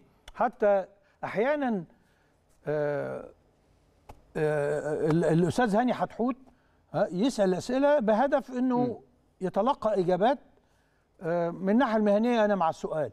يعني يعني مش مش هفسره هو بيقول له إيه؟ طب الصحفي غلط في إيه؟ غلط في الكلام اللي إحنا بنقوله. لا ده المكان ولا ده السؤال ولا ولا, ده دي الموضوع. الطريقة. ولا ده الموضوع ما أنا صحيح. بقول لك آه. الثلاثه دول مش موجودين. أيوة. يبقى أنت جاي لي لسبب رابع من حق أعمل معاك آه، أي حاجة. ليه بقى؟ أنا ما أنتش عارف. ما أنت ممكن تكون جاي تعتدي عليا. مش مش جاي تزقني. يا أستاذ إبراهيم ما تديش فرصة للناس تتلكك. يعني أنا ما أحبش أشوف أنا بقى ما احبش أشوف نقط الضعف. يعني موسيماني نصيحتي بقى خد خلي بالك لأن الناس بتخش تضايقك دلوقتي. في الأول ما كانش كده لكن عرفوا إنك بتتضايق هيبتدوا يضايقوك هيطلعوا عصم فيك هتتظلم لأنك أنت ويجوز عصبية موسيماني في الفترة الأخرانية إن الحقيقة الكل دايس عليه. ده مش مش طريقة تعامل مع راجل محقق نجاحات. نجاحات العالم كله يتحدث عنها. وإحنا وشايفينها. وله مشروع له سياسات له هدف حتى في الرابطة. هو هو انت بيعمل حاجة الناس شايفاها وشايفة إن دي نتيجة مقبولة منه وانه كويس إن هو عمل كده عشان نعرف إن عندنا المستويات دي ونعرف نهيئها. الراجل عنده مشاكل مش عارف يروح بفرقته إزاي كأس العالم للأندية. الراجل عنده إصابات مستغرب لها. إصابات لا تحدث لأي فريق يمكن على مستوى العالم. كل المشاكل دي من حقه تخليه شوية متوتر. ما جيش أنا بقى أصطاده وهو متوتر عشان على رأي الأستاذ عز الدين كلاوي وهو بيقول كده. أنا أنا عندي التوترات وعندي انفعالاتي. أنت ما تجيش تستفزني ومش بتستفزني في حقك. لو أنا واقف في الزون ولا في وقت ولا في مكانه. وبقول, له علق لي على المباراة النهارده وإيه اللي استفدته منها واتصرف معايا كده؟ لا يبقى غلطان 100% لكن ماشي ورايا. فسيبه وم- ومد. يروح جاي قدامه حاطط له التليفون بالطريقة دي في وشه. آه، يعني إيه المطلوب؟ طيب بمناسبة آه، كأس الأمم آه، انتهت المباراتين. مالي كسبت موريتانيا 2-0 وصعدت مالي أول المجموعة بسبع نقاط عشان تلاعب غينيا الاستوائية. تونس خسرت من جامبيا 1-0 عشان تونس تطلع الثالث جامبيا بقت سبع نقاط في المركز الثاني هتلاعب غينيا. لكن تونس هتلاعب نيجيريا. تونس مع نيجيريا تونس ثلاث نقاط هتواجه نيجيريا وجامبيا سبع نقاط ودي واحدة من القوى الجديدة الحقيقة لأنه كأس الأمم الحالية أفرزت قوى كروية أفريقية جديدة. إحنا لأول مرة نشوف جزر القمر نشوف غينيا بيساو نشوف جامبيا نشوف الرأس الأخضر على مستوى الممارسة القوية. بينما ودي المفاجأة الكبيرة حامل اللقب الجزائر يودع البطولة بنقطة. بعد ما خسر أربعة وغانا. خرج بنقطة غانا. النجوم السوداء تسقطها جزر القمر أو الرأس الأخضر. جزر القمر أسقطت غانا. فتخرج الست دول الجزائر الثمانية الجزائر وغانا وأثيوبيا والسودان وغينيا بيساو وسيراليون وخرجت كمان زيمبابوي وموريتانيا. دي المنتخبات اللي ودعت البطولة من الدور الأول. دخلت آه، في احسن دخل توالي. الثالث آه. دخل الثالث وهتلاعب نيجيريا. دي كانت الأحداث المهمة جدا لكن المهندس عدلي قال إن موسيماني متوتر الفترة اللي فاتت وكفاية اللي هو فيه ومش عارف يروح كأس العالم. إزاي. وناس كتيرة دايسة عليه. لكن تخيلوا إنه يأتي الإنصاف منين؟ نشوف ما في الغربال. موسيماني ونيويورك تايمز فضل ونعمة. شوفوا بقى لما الإنصاف لبيتسو موسيماني ومسيرته مع الأهلي وتجربته يجي له الإنصاف من واحدة من أهم الصحف الأمريكية أو العالمية من ال New York Times.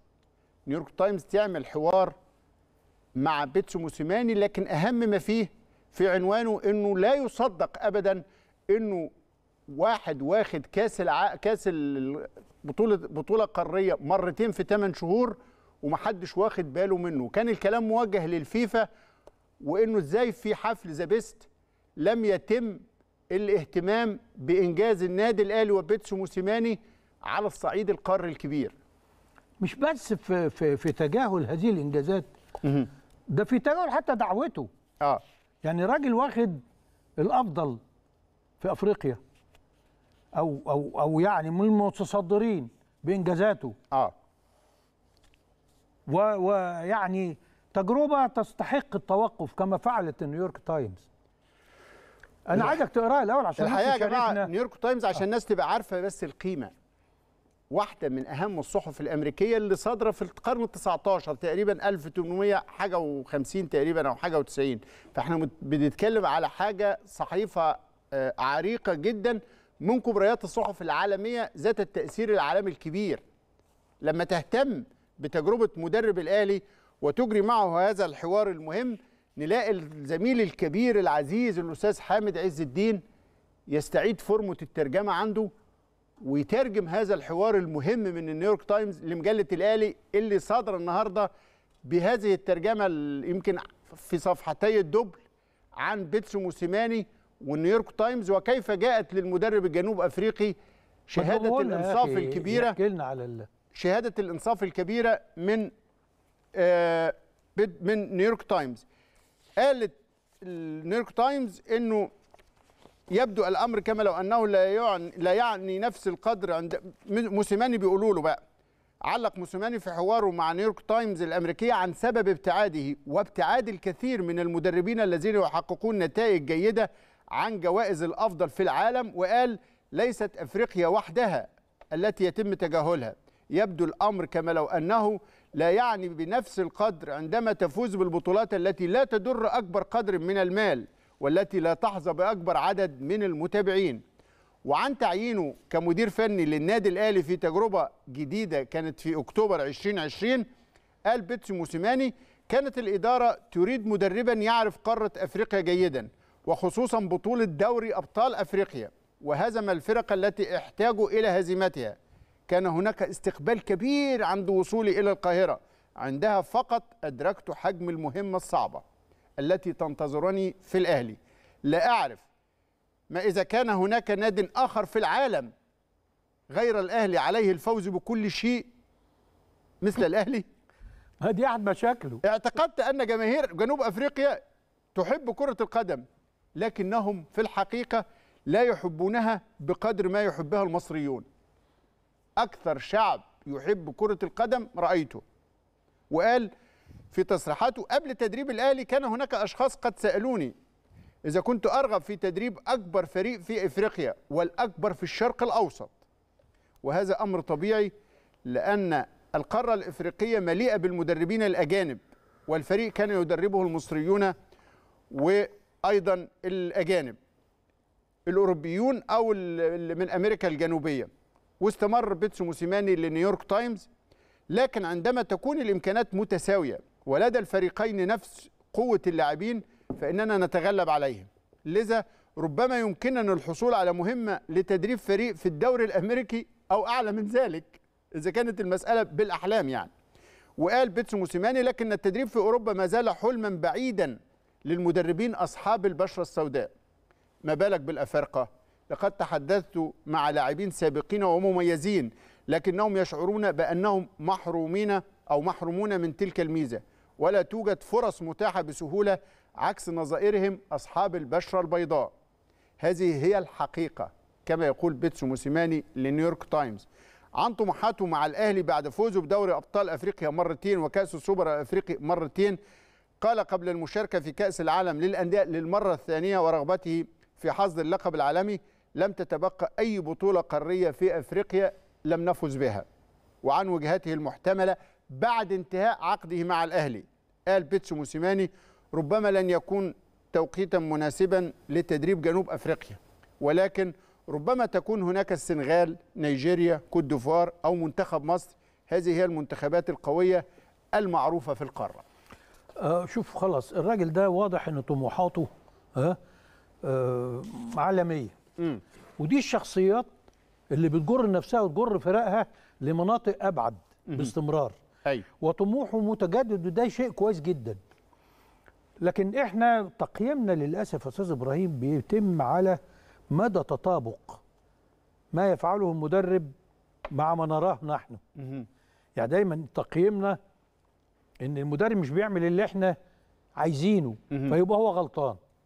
على الرغم إن هو في مكان ربما لو إحنا باللي إحنا عايزينه ده مكانه ربما ما نبقاش عايزين الكلام ده أنت فاهم قصدي أيوه هذا كلام آه يعني آه اولا هو بيحاول يبني فرقة وكل ما يجيب حد.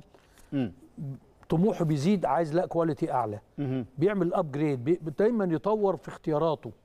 يعني اختياراته كلها لقدام. أيوه ممكن الناس تقول له أنت كل سنة تلبسنا في حد وبعدين ترجع تجرب غيره؟ ما أنت ما أنت بتجيب بشر.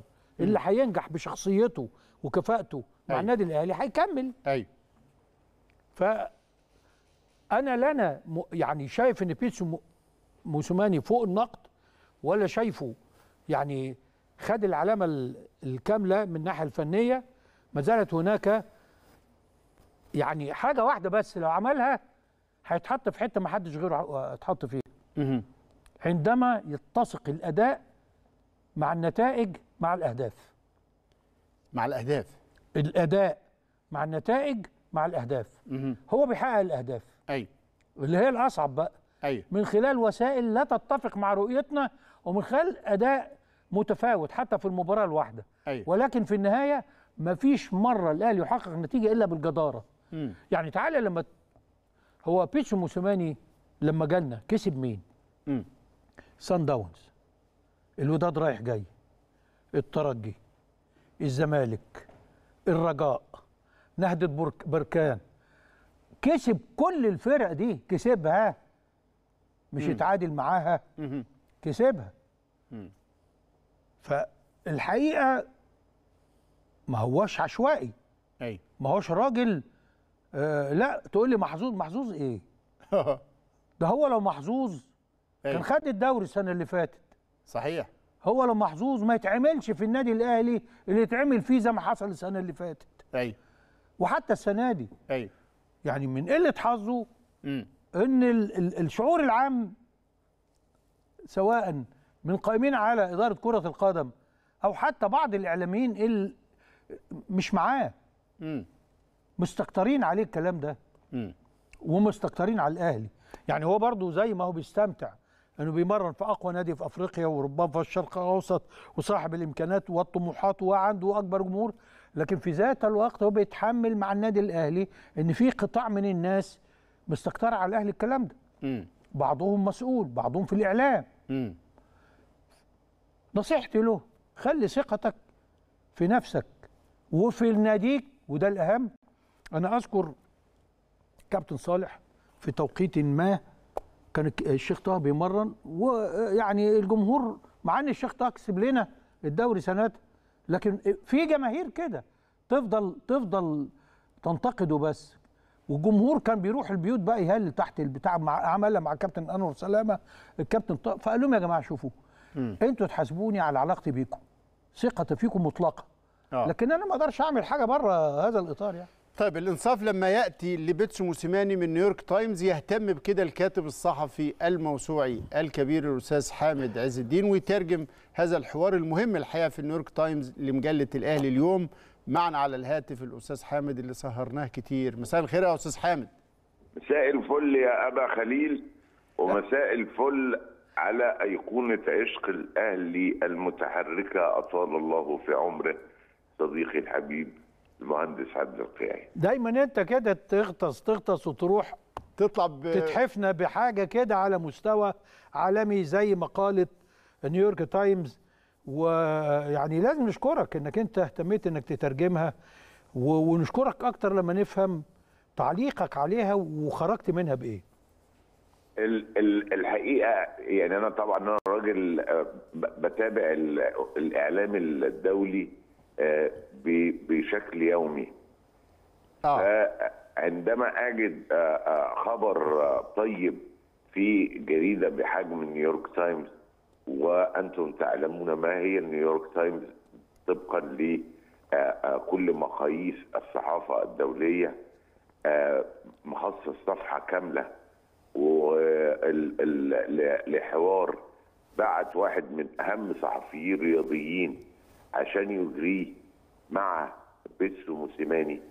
فكان لابد أن أهتم خصوصا إني قبلها يعني قبل ما أقرأ هو الحوار نشر يوم 16 آه أنا شفته آه 17 الصبح.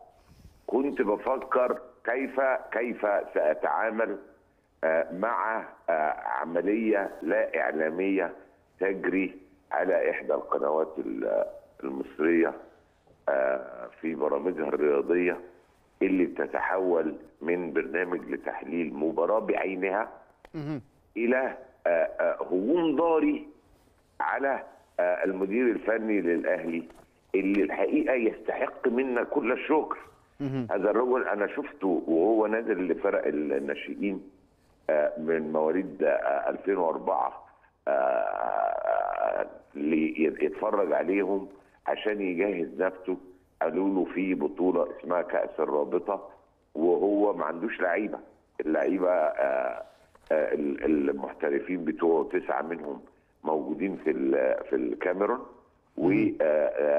ولعيبه مصابة بال بال بال بالأوميكرون. فجهز في وقت قياسي آه، فريق متكامل قدم لنا ما يثلج الصدور بأداء رجولي من آه، آه، شباب يعني آه، لا يقل لا لا, لا تقل سعادتي به عن ذلك الفريق الشاب الذي آه، لعب ذات يوم عندما استدعي فجأة أمام آه، آه، المنافس الشقيق. نادي ال- الزمالك في آه، بطولة كأس مصر وكان الحكم الألماني الذي أدار المباراة ينظر إلى وجوه لاعبي شباب الأهلي وينظر إلى لاعبي الزمالك فيشعر بالارتباك. الفريق الذي آه، آه، شكله موسيماني من مجموعة من لاعبي آه، آه، مواليد 2004 لغاية آه، آه، 2002 وقدموا لنا عروض جيدة فيها كل سمات الأداء الأهلاوي. فافاجئ بالكابتن العزيز محمد فضل آه، آه، بي- بي- بيفتتح آه، ندوة الهجوم على الرجل ويقول كيف يخرج زياد طارق في الدقيقة 65 من المباراة. وكأنه بيتهم الراجل بأنه آه، بيحب يكره كمان في الناشئين. ده الراجل كل الناس كانت بتشيد بيه وهو أراد أن يحتفي بيه أكتر بإنه يمنحه بعض ال- ال- الراحة في الدقيقة 65 أيوه ويشوف غيره. عايز يشوف غيره يعني عنده أسبابه. يعني آه لا يعني المسألة لا تحتمل النقد. ده ناشئ أصغر لعيب في الملعب أما بيريحه. ما يستحقش الهجوم يعني. فالمشكلة إن ده قام واخدنا إلى حديث ح- حديث الحقيقة آه، يعني كوميدي إلى حد كبير. إنه الراجل بي- بي- بي- بيتقال إن هو كل اللي بيعمله إنه بياخد بطولات. أنا بقيت قاعد بيني وبين نفسي أنا بسقف وأنا قاعد لوحدي بس بتفرج على اللي بيتقال ده. آه. وأن يقول الكابتن محمد فضل فهو طبعا آه، ابننا وكل حاجة بس إيه آه، منفعل شوية ومش واخد باله من هو اللي هو بيقوله الصراحه لكن أنا صديقي العزيز وعلى مدى سنوات طويلة الدكتور طه آه، آه، اولا هو من الذين استشيروا وأشاروا بسعادة آه، قبل أن يأتي ال- ال- آه، بيتسو بيتسو. موسيماني مديرا فنيا للأهلي واشاد ب آه، آه، يعني بصحة ال- القرار والتوقيت الرائع اللي اتخذ فيه القرار. والرجل آه، لم يكن أقل مطلقا من ال- التوقعات. راجل أخذ أخذ آه، آه، يعني يعني آه، في ثمان شهور بطولتي أبطال إفريقيا. أخذ اتنين آه، آه، كاس سوبر. الراجل راجل آه، كاريزما عالية جدا جدا. و و و و وكان بالنسبة لل- للنادي الأهلي له فضل إن العالم بدأ يتكلم كيف أن أكبر فريق في أفريقيا وفي الشرق ال- الأوسط يبادر بأن يكون افريقي على راس جهازه الفني في هذا التوقيت. فانا أنا بقيت عايز يعني هكتب المقال بتاعي لمجله الأهلي أحكي فيه عن الكلام ده وأقول مبررات موقفي ومبررات اندهاشي العجيب من آه، آه، آه، ذلك الهجوم رغم أن الشيخ طه في فترة من الفترات قال بس إحنا أصلا في استوديو تحليل والمفروض بنتكلم على الماتش. والأهلي كان جيد جدا. الفريق الشاب ده بيلاعب آه، آه، فريق الجونه المحترم جدا بكامل نجومه وبيعمل تعادل بأداء رائع.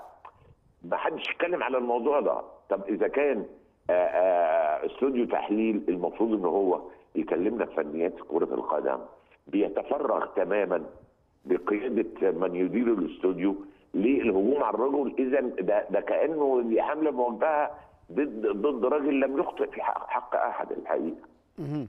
ففوجئت بإن اللي بيغنيني عن الرد إنه هذا العنوان العظيم والمساحة الضخمة جدا التي أفردتها صحيفة بحجم نيويورك تايمز آه، آه، آه، للتساؤل والدفاع. والدفاع.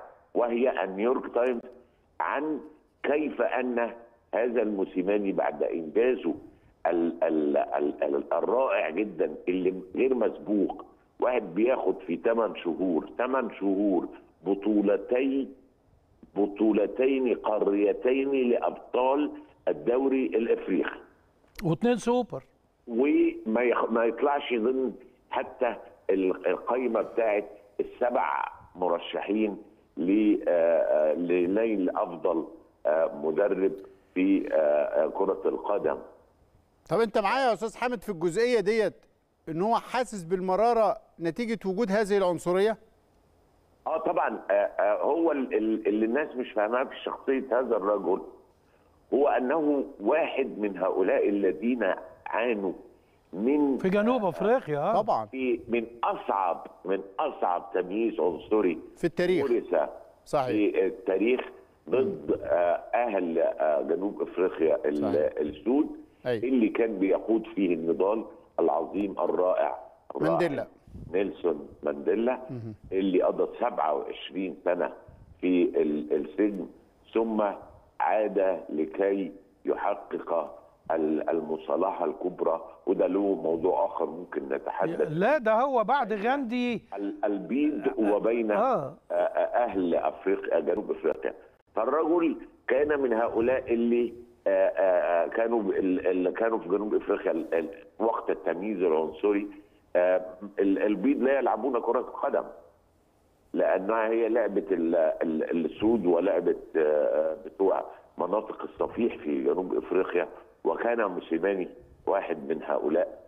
ولهذا فالموضوع ده آه، بالنسبة له يعني قضية أساسية قضية رفض التمييز ال- العنصري. وعشان كده كان واضح وهو بيقول يبدو آه، آه، إنه إنه إنه كان مهم جدا وأنت بتعمل إنجازات أن يكون لونك أبيض. راجل وهو يتحدث عن النادي الأهلي آه، في الحوار مع نيويورك تايمز العريقة جدا بيقول إنه كانت لحظة عظيمة جدا أن ينتدبني نادي بحجم النادي الأهلي الأهم والأكبر في ال ال الشرق الأوسط. وبدأ يتكلم كيف أن هذا النادي يملك جمهورا ليس كمثله جمهور في الدنيا. وازاي الناس يستقبلوه بالآلاف؟ آه، آه، لحظة وصوله مطار القاهرة. إزاي بيجد جماهير الاهلي دي في كل مكان؟ حتى أنه قال أنا كنت أظن إنه آه، ال- ال- ال- الجنوب إفريقيين في في جنوب إفريقيا هم أكثر ناس بتشجع. فلقيت لأ في في جمهور مختلف اسمه جمهور ال- النادي الأهلي وشايف انه إنه دي كانت بالنسبة له يعني نقلة كبيرة جدا لم يكن يحلم بها لأنه كان في داخله إنه ال- ال- النادي الأهلي كان بيجيب من أوروبا ومن أمريكا اللاتينية مدربين فمعنى أن يختاره هو لتولي هذه المهمة. فذلك أمر يسعده لقيمة ال- النادي الأهلي ولقيمة القرار إنه الأهلي لم يفكر كثيرا وهو ينتدب. جنوب إفريقي ومش أوروبي ومش أمريكي صحيح. آه لاتيني لكي يكون على رأس جهازه الفني. تعيش وتمتعنا يا أيقونة الص- ال- الإعلام الدولي. ودايما آه، إحنا بنشكر يعني نيويورك تايمز الحقيقة اللي سمعتنا صوتك. آه لا ودايما هو نف- لا. نفذتنا إلى الإعلام العالمي صحيح. يعني ربنا يخليكم يا رب وأنتوا ب- بتقدموا واحد من أهم ال ال ال البرامج ال ال الرياضية التي تعلم الناس كيف يكون الكلام في الأمور الرياضية وغير الرياضية وهذه هي سمات الإعلام الأهلاوي دوما شكرا جزيلا للكاتب الصحفي الموسوعي الأستاذ حامد عز الدين أعتقد متعنا بهذه قبل ما الترجمة فاصل. المهمة جدا لهذا الحوار المهم اللي أجرته نيويورك تايمز الأمريكية مع بيتسو موسيماني متحدثا عن الأهلي وإنجازه بالفوز بدوري أبطال أفريقيا مرتين في 8 شهور دون أن يلقى هذا الإنجاز التقدير الكافي من الاتحاد الدولي على الأقل في اختياره ضمن المدربين المتميزين هذا العام اثنين سوبر هم العالم. أربع أربع بطولات آه واثنين لا أنا. ما بعددلوش أنا بقول لك دهشة الأمريكان في الجزئية دي. ما هو عنده يعني آه. مش مش بطولتين هم قدامهم أربع بطولات إفريقية في الثمان شهور دي. لكن أنا عايز بس أعلق عشان هو الأستاذ حامد بذكاء لمس نقطة مهمة جدا. أيوه كيف أن أصحاب البشرة السمراء في جنوب أفريقيا يعني خلوا العالم كله من كتر البطش والظلم اللي شافوه يتضامن معاهم. يعني لما يحصل انسحاب آه ل 35 دولة في دورة مونتريال الأولمبية منهم مصر ها؟ علشان سمح لجنوب أفريقيا المتحيزة عنصريا ها؟ بالمشاركة في البطولة الأولمبية. آه إذا هذا- النظام العنصري. هذا آه، هذا هذه الرؤية العالمية لما كان يحدث من بشاعة في تجربة عنصرية الأسوأ على مستوى العالم. أفرزت واحد زي مانديلا. مانديلا يا جماعة قعد 27 سنة في السجن وسجنه كان في وسط البحر في جزيرة في وسط البحر عشان ما يضمنوا ما حدش يقدر يهرب ولا يعرف يهرب ولكن اتسجن ليه؟ لأنه كان رمزا للنضال لل- لمواجهة العنصرية ولما خرج من السجن احترمه العالم كما لم يحترم أحد قبله سوى غاندي اللي استطاع أن يوحد الهند بكل لغاتها وأديانها و و و و و و وتعددية اللي عندها. آه، بنهج جديد اللي هو المقاومة السلمية. آه، مانديلا هو غاندي أفريقيا هو غاندي البشره السمراء. فلما يطلع آه، موسيماني في هذا المناخ لا يبقى حساس جدا جدا جدا. وهذا ربما أدركه البعض اللي عايز يطفشه من مصر صدقني. الأسئلة دي مش عشوائية. واللي يوضح إنها مش عشوائية موقف رئيس جمعية المراسلين اللي بدل ما يعتذر لموسيماني طالع يقول له اعتذر لنا. طب والا إيه؟ بركه يا جامح ما تروحوش تاخدوا منه أحاديث. يعني يعني فالنهاردة موسيماني يتعرض لضغوط لكن أرجو من أبناء الأهلي إن يخلوا بالهم من النقطة دي وبحسن نية ما يساعدوش فيها. طيب إيه حقيقة علاقة موسيماني بالكابتن محمود الخطيب؟ وكيف يراها المدرب الجنوب أفريقي؟ ده كلام مهم جدا بعظمة لسانه بعد الفاصل. أهلا بحضراتكم من جديد. الحقيقة مع آه، انتهاء الدور الأول لكأس الأمم الأفريقية وضحت الرؤية تماما بالنسبة للدور الثاني اللي كانت كل الخريطة بتاعته منتظرة مباراتي اليوم. كده تأكد إنه يوم الأحد هيبدأ دور ال 16 هيلعب فيه بوركينا فاسو مع الجابون نيجيريا مع تونس. يوم الاثنين هتلعب الكاميرون مع جزر القمر وغينيا مع جامبيا. الثلاث المغرب وملاوي والسنغال مع الرأس الأخضر. لكن يوم الأربع إن شاء الله موعد ظهور منتخب مصر اللي كارلوس كيروش بيقول لنا انتظروا فريق مختلف وإن إحنا هدفنا الماتش اللي جاي نكسب بالخمسة. يسمع من بقك ربنا يا خواجة ونشوف إزاي هتجيب الخمسة. بس المهم هو بيطمنا إنه الآن بدأت كأس الأمم الأفريقية. خلينا مع كروش بكل الدعم والمساندة حتى النهاية. يوم الأربع اللي جاي منتخب مصر هيواجه كوت ديفوار ومالي هتواجه غينيا الاستوائية. طب إيه اللي بعد كده؟ منتخب مصر في طريقه مين؟ لو تجاوز كوت ديفوار بإذن الله تعالى لأنه حتى كوت ديفوار وشها حلوة علينا. ركبنا الأفيال قبل كده في 2006 ووصلنا لمنصه التتويج في الكاميرون أيضا أو في غانا في 2008 امتطينا الفيلة أيضا وتوجنا باللقب. فلما بنلاقي معانا كوت ديفوار بتبقى فيها الخير إن شاء الله تعالى. زي ما وجود السودان معانا يمكن الناس استبشرت خير إن فوز منتخب مصر على السودان. دايما بيبقى من مفاتيح الفوز. حصل في انجولا وحصل في غانا وحصل في 57 وحصل في 59 فخلينا مع الفال وعليه الكمال بإذن الله. منتخب مصر لو تخطى الكوت ديفوار هيبقى في طريقه الفايز من المغرب وملاوي. يعني عندك كوت ديفوار عندك مواجهة محتملة مع المغرب ثم مواجهة محتملة لو كملنا للدور قبل النهائي مع الكاميرون.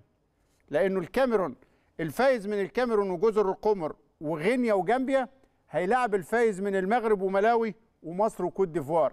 اذا طريق مصر المؤكد كوت ديفوار في دور ال 16 ثم المغرب مواجهة محتملة ثم الكاميرون مواجهة أيضا محتملة في قبل النهائي. النهائي هيكون يوم الأحد 6 فبراير. إن شاء الله وفي نفس اليوم هتكون مباراة تحديد المركز الثالث. الكاميرون طريقها أبيض. ما طريق كويس. آه. على أرضها وفي وسط جماهيرها وعندها الفرق دي المحتملة هي يعني في المتناول.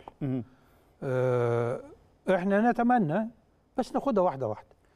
يعني إحنا نتمنى الأول نوصل لدور الثمانيه بعدين نحلها الحلها طيب عودا لموضوع مستر بيتسو موسيماني. الحقيقة لما الناس اتكلمت على إنه إيه حكاية علاقته بالنادي الأهلي وهل في مشاكل بالنسبة للتجديد بينه وبين الكابتن محمود الخطيب بيتسو موسيماني في إم بي سي اتكلم. اتكلمت إن كابتن محمود الخطيب كان دعمك في إن أنت تنفذ خطتك. هل العلاقة دلوقتي بينك وكابتن محمود الخطيب على ما يرام إن في ناس بتتكلم عليها ببعض السلبية؟ إيه اللي ممكن المشاكل اللي ممكن تكون بيني وبين كابتن خطيب؟ يعني التجديد آه، التصريحات حاجات كده يمكن بتتناقلها السوشيال ميديا. لا. لما يكون في مفاوضات عشان العقد. ما ينفعش تتوقع المفاوضات هتحصل تحصل. في يوم واحد. ده دي مفاوضات. هو عايز ده. وأنا شايف أنا هقدر هتكسب حاجة زي كده أقدر وأنا هقدر ابقى أقدر ااهل الاهلي اللي هو عايزه. وبرضه في طلبات وفي متطلبات ماتشات ليا. حاجات محتاجة في المباريات لأن يمكن احتاج بعض الدعم. عشان أقدر. أحقق ال- ال- ال- ال- اللي بيرغبوا أو طموحات النادي. الناس تتكلم العقود نا- فلوس فقط. لا مش فلوس بس. مش فلوس بس. آه الفلوس مهمة طبعا. لأن إحنا محترفين. بنشتغل كتير جدا عشان عشان نوصل للحتة اللي إحنا فيها. إحنا ما وصلناش هنا بالصدفة. أنا ما قلتش هنا عشان خاطر السي في بتاعي كويس. أنا جيت هنا علشان الأهلي شافني بلعب قدامهم. وشافني وأنا بلعب قدام الوداد. والأهلي شافوني بلعب قدام الزمالك. وشافوني وأنا بلعب مع الترجي قدام الترجي. الاهلي شافوني بلعب قدام التيبي مازيمبي. أنا حفرت طريقي عشان أوصل هنا. وصلت كأس العالم مع سان داونز. أنا ما رحتش كأس العالم مع الأهلي بس رحتها قبل كده مع فريق قبل كده. وكسبت برضو بطولة أفريقيا دوت رابطة الأبطال بأفريقيا قبلها. وأنا وصلت نفسي للمكان اللي أنا فيه. عشان كده لازم أحس إن أنا متقدر. وده مهم جدا. والنادي الأهلي نادي كبير طبعا. وشرف ليا إن أكون موجود مدرب نادي الاهلي حاجة زي كده بعترف بيها. لكن ما اقولش عشان كسبت بطولتين مع النادي الأهلي. وك... ده ان أنا اكبر من أي حد أنا عارف النادي الأهلي نادي كبير أنا ما كانش ممكن أحقق بطولتين أفريقيا دي والبرونز. المركز الثالث في كأس العالم واتاهل تاني كأس العالم ما كانش ممكن أحقق ده من غير ما يكون معايا فريق غير فريق النادي الأهلي. شوف أسخف شيء إنك تسأل الإنسان أسئلة يعني متكررة في نفس الاتجاه. وفي حاجات بتمس علاقاته وشكلها بديهي. يعني هو الراجل وهو بيجاوب خلوا بالكم كل جملة قالها. قال الله. دي نيجوشيشن تفاوض. تفاوض يعني إيه؟ يعني اتنين عايزين يوصلوا لاتفاق. ما هو لو هو واحد فيهم طرف مش عايز التاني مش هيبقى فيه تفاوض. لكن التفاوض يعني إيه؟ أنت هتقعد معايا أنا عايزك وأنت عندك حاجات وليك طلبات. بنقرب السكك مع بعضينا. وبعدين ابتدى يقول يفكرهم. هو هو الأهلي ما اختارنيش كده. ده اختارني من خلال نجاحي مع جنوب أفريقيا وم- ومواجهتي مع كل الفرق اللي, اللي الأهلي هيواجهها سواء في شمال أفريقيا أو حتى الأندية المحلية زي الزمالك. وشافني وأنا بتعامل مع الأندية دي وشاف إن أنا قدرت أعمل إيه. ف يكاد يقول لهم يعني أنا فرحان جدا إن جيت أكبر نادي وسعادتي دي كانت واضحة جدا لكن أنا برضو مدرب كبير يعني أستحق أن يتم اختياري لهذا النادي. النقطة الثانية المهمة جدا وقال لهم آه الفلوس مهمة هتبقى جزء من التفاوض لكن خلي بالكم يا جماعة إن أصعب شيء وأنت ناجح التحدي بيبقى إيه؟ تطوير النجاح. موسيماني في لحظة هو مش يعني لو توقف عندها هيبقى عمل كل حاجة. ما خسرش غير الدوري. لكن آه آه الفترة الجاية هو مطلوب منه إيه؟ تطوير النجاح بإنجازات جديدة. يعني هو دلوقتي اللي مضايقه برضه إنه مش رايح بأحسن بأحسن وضع فني ولا وضع آه، استعداد لكأس العالم للأندية. متضايق.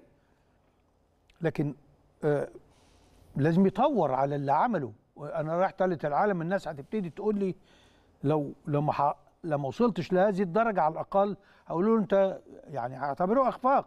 ما حدش هيفكر بقى في الظروف اللي إحنا فيها دي كلها.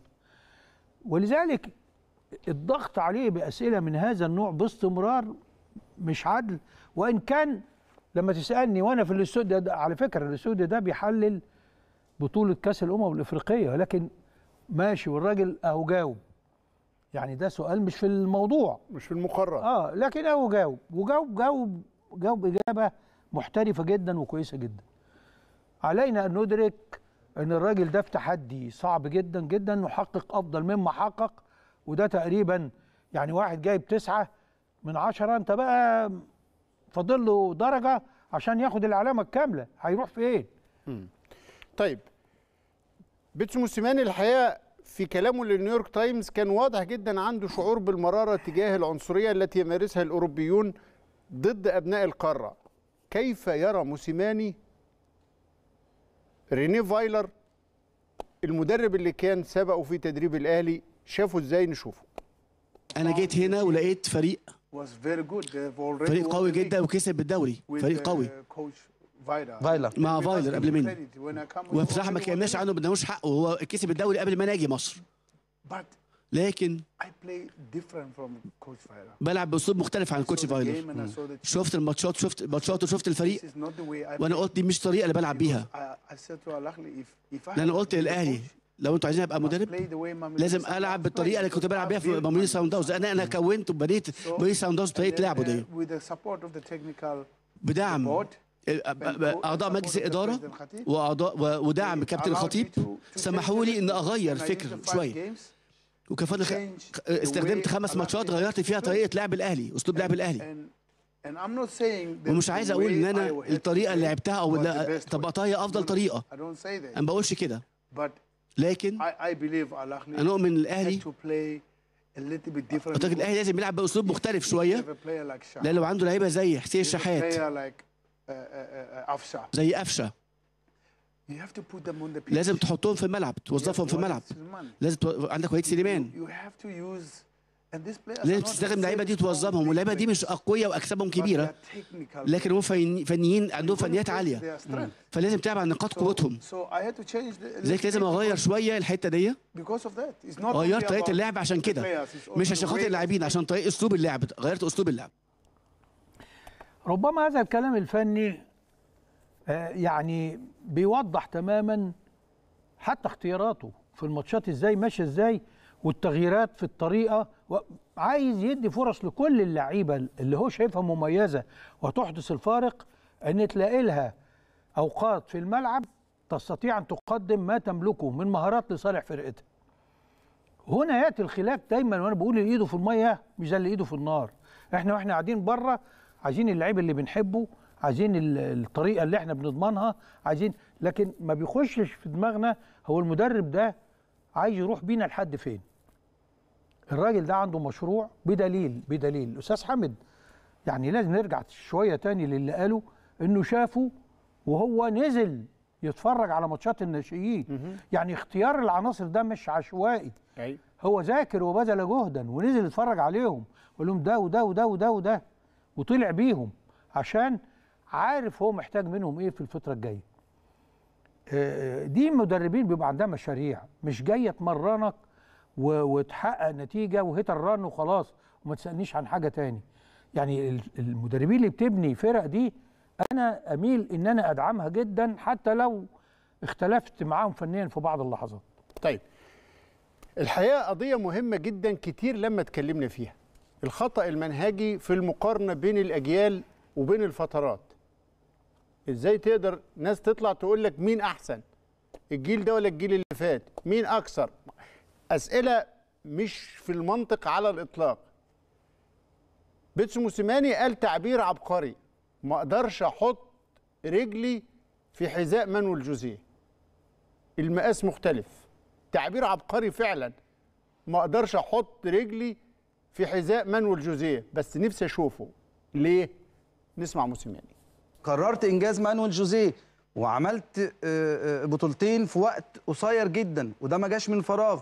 وحققت مركز ثالث في كأس العالم للأندية.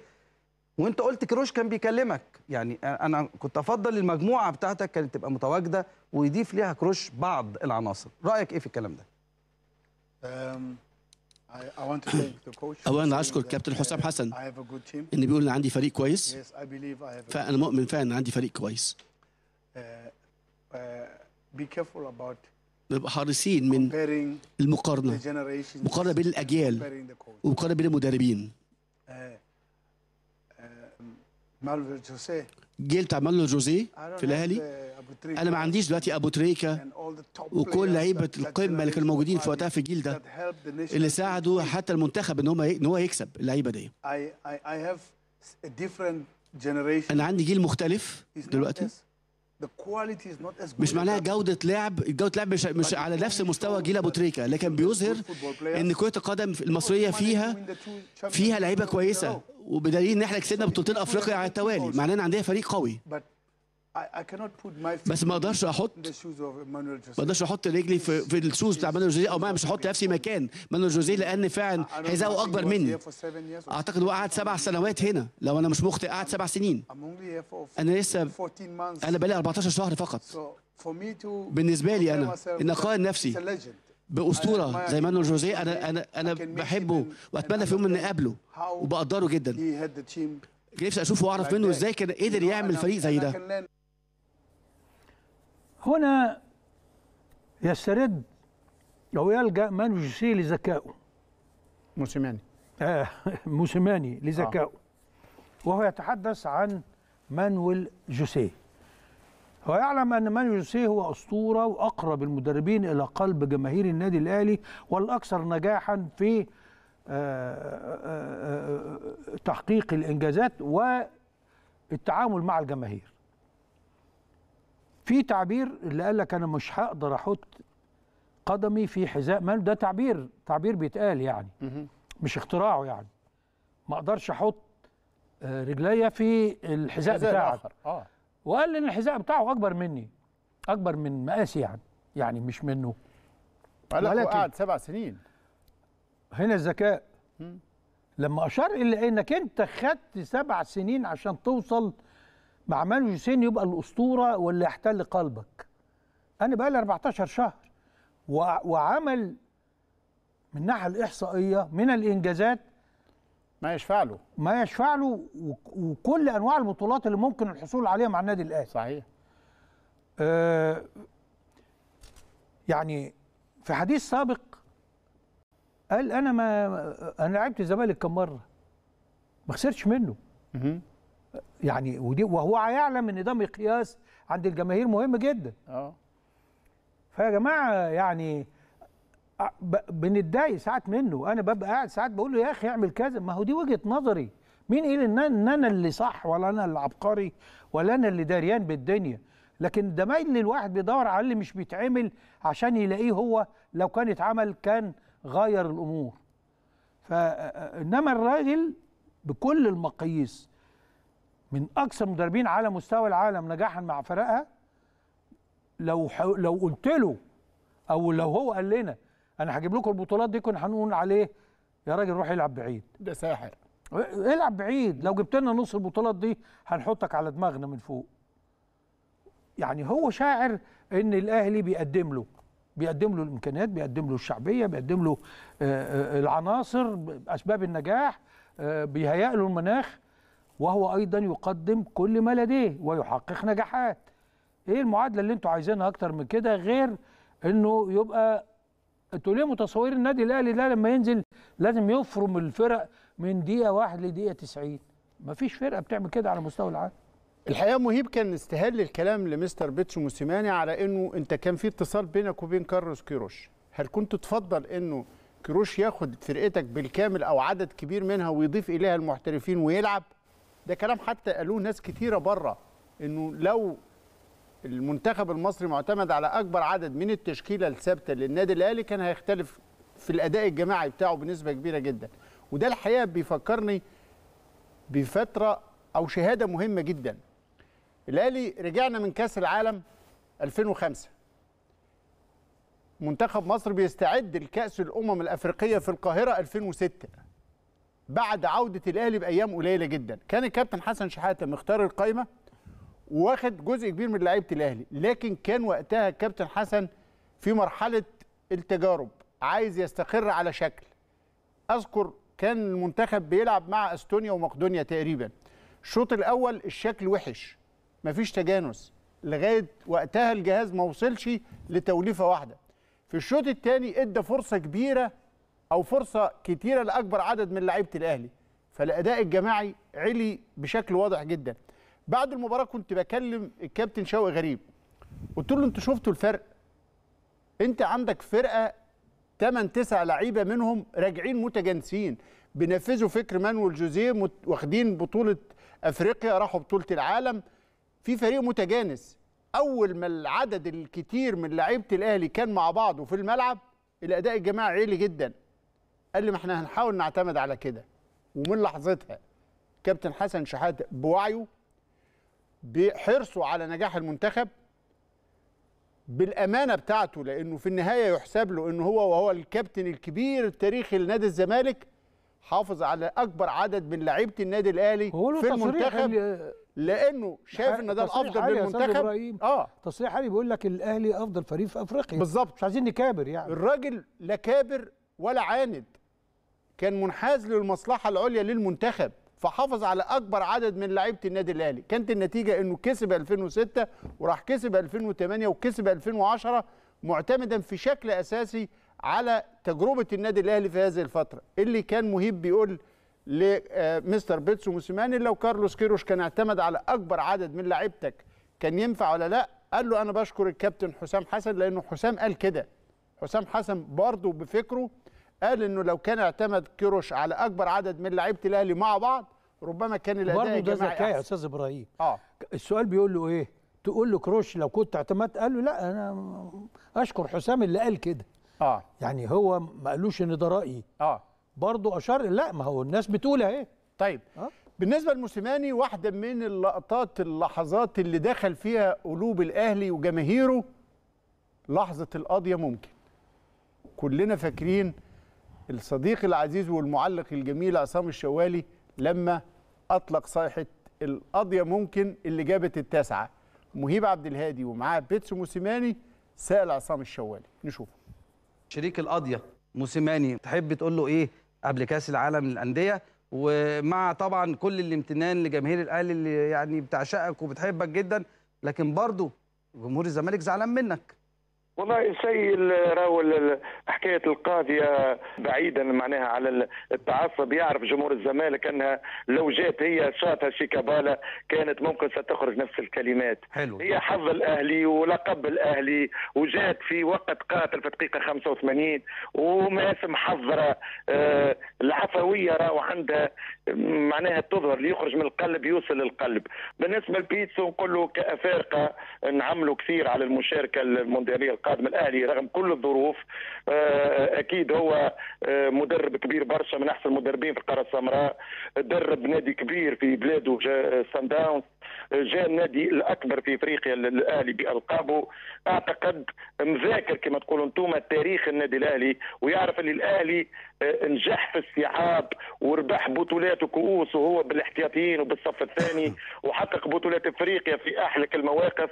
فبالتالي كي يقرأ درسه ويقرأ من هو النادي الأهلي يعرف أنه حتى في الغيابات الأهلي بمن حضر ونستناه إن شاء الله في مونديال مشرف للكرة المصرية. بالنسبة لبيتسو الحقيقة مدرب محترم جدا مدرب أنا قلت أنه مكسب الحقيقة. مو سهل يجيب التا- التاسعه والعاشره ويجيب السوبر الإفريقي في مناسبتين ويجيب أيضا آه، ثالث العالم. الحقيقة على خطوات آه، مانويل جوزيه يعني بالأرقام وبالبطولات.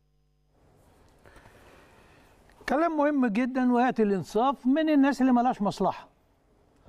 أما مساله القضية ممكن هو قالها قبل ما قفشه يجيب الجون. هو كان عارف مين اللي هيجيب الجون. انما استشعر إن في ريحة إن خطورة. في ريحة خطورة دلوقتي الدنيا آه، فيها جون. القفشة ممكن ال- القضية ممكن القضية م- و- والقفشة و- ممكن. آه هو القفشة ممكن. فالحقيقة آه، يعني الكلام اللي قاله آه، في حق آه، بيتسو موسيماني الراجل يستحقه. وأنا ده اللي عايز رسالتي بقى أنا لموسيماني يعني. أي. ما هي؟ الناس شايفاك اهو والانصاف اهو. لا تلتفت إلى محاولات استفزازك. هتلاقيها كتير الفترة دي. نصيحتك لبيتسو موسيماني. آه. إيه؟ هي دي. ما تلتفتش العالم يقدرك. آه، السواد الأعظم من جماهير الأهلي تقدرك. الإدارة تقدرك. الإدارة عايزاك بدليل انها بتتفاوض معاك. ولكن آه آه يعني آه طبعا ثمن ضريبة النجاح كده. في ناس هتعرقلك في ناس هت... مش تملي مش تملي اللي بيتقال لك ده يعني وراه حسن نية. يعني ف... فخلينا في الإجابات زي ما الكابتن صالح قال ها؟ و- و- وأنا يعني أنا أصل عاصرت الفترة دي مع الكابتن أنور تحديدا. كان فترة لا تطاق. كان الجماهير بتروح وبت... وبت... بت... كان الأهلي لسه بيتجدد يعني. وقال له قال له إحنا يعني كل أقدر أعملك دعمي. لكن حاول إنك أنت تتحمل هذا الكلام لحد ما نعدي من الفترات دي يعني. أنا ده اللي عايز أقوله أنت تحظى بثقة المسؤولين في النادي الأهلي والسواد الأعظم جماهير الأهلي والمنصفين في الإعلام سواء داخل أو خارج مصر. وأديك يا عم وصلت لإيه؟ نيويورك تايمز. أديك وصلت النيويورك تايمز. كان أنا برضه ما فوتش حتة عصام الشوالي ومهيب بيقول له القضية ممكن قال له أصل اللي بيخرج من القلب يروح للقلب مباشرة. فقلب عصام الشوالي معروف لكن هنطلع لفاصل وبعد الفاصل كلام مهم بعضمه لساني أهلا بحضراتكم من جديد. ما تخافش على الأهلي ليه؟ ما تخافش على الأهلي علشان النماذج اللي جاية اللي بتحفظ إرادة الفوز وانتصار الأهلي حتى أي لحظة بعد اللحظة الأخيرة. ده كلام مهم حبينا نثبته لحضراتكم ب بعضمه لسانه. ناس رضع بلس 90 وناس رضعه وهم السنين. الأول خلينا مع الناس الرضعه بلس 90 وهنا رسالتنا لأي منافس ما تفرحش قوي قبل ما تسمع الصفارة. ما دام ما سمعتش الصفارة والأهلي موجود في الملعب خد بالك. كابتن فاروق جعفر زمان قال ما بطمنش إن أنا اتعادلت مع الأهلي أو كسبته إلا لما أروح أسمعها في نشر التسعة. وقت ما المباراة كانت بتتلعب 3 العصر يعني بعد ست ساعات من انتهاء المباراة. ده كان تأكيد على إنه plus 90 دي ليها جذور في التتش. في مباراة السلة الأهلي والزمالك قمة الإثارة والندية. مباراة مرجحت كتير قوي رايحة جاية رايحة جاية لغاية حتى بعد الوقت الإضافي الزمالك متقدم بفارق 3 point لاعب الزمالك أحمد ياسر عبد الوهاب افتكر إن الدنيا خلصت نسي إنه بيلاعب الأهلي. فشاور لجهاز الأهلي وللحضور دبحناكم وما يعرفش إنه دبح فرصته في الفوز ودبح فرصة والده في إنه يكسب المدرب اللي كان موجود في الزمالك أوجستي وهو بيواجه الزمالك في صالة نادي الزمالك. فكان الذبح مش للأهلي ابدا ده كان مش الذبح بس يا أستاذ إبراهيم نقطة بس عشان الناس مش بس إشارة الذبح آه. هو تل- تلفظ بلفظ نابي جدا مقروء تماما بلغة الشفاه تمام. كانت النتيجة إيه؟ أصل عشان الناس بتقول لك م- ما هو الإشارة دي بتحصل في الملاعب. مم. لما تكون مصحوبة وأنت بتوجهها للدكة المنافس بتاعك بهذه الألفاظ النابية استحقت. هو بقى كتر خيره آه. اللي ادانا الفرصة نكسب الماتش. بالظبط. انت ما ذبحتش الاهلي انت ذبحت فرصة والدك المدرب ياسر عبد الوهاب. فرقتك يعني. بالظبط. فكانت النتيجة انه الحكم يحسب رمية واستحواذ للأهلي فالأهلي يسجلها ويستحوذ في آخر ثلاث ثواني يجيب مهيب الرمية الثلاثية يكسب الأهلي هذه المباراة. ده اللي حصل في صالة نادي الزمالك. ممكن أشرح لك آه. حاجة آه عشان ننصف أجوستي. آه. خمس ثواني. أيوه خد تكنيكال فاول ربنا اداهوله. آه. نتيجة هذا التصرف مم. الغير محسوب وم- في طيش شوية فال ال ال الت- التكتيك اللي اتعمل فيه عبقرية. مم. اولا لازم عشان تكسب تجيب الرمية وتعمل ثلاثية. عشان تتعادل تجيب الرمية وتعمل ثنائيه أو تضيع الرمية وتجيب ثلاثية. فانت اول تحدي ليك على الاقل جيب ثلاثية ولو جبت الاربع نقاط يبقى هتكسب الماتش. خمس ثواني. عمل time out التحرك المدروس كله اتحرك كده. جه تومسون خد الكورة dribble بقى واحد اتنين ونزل مهيب اللي على الدكة ما كانش في الملعب.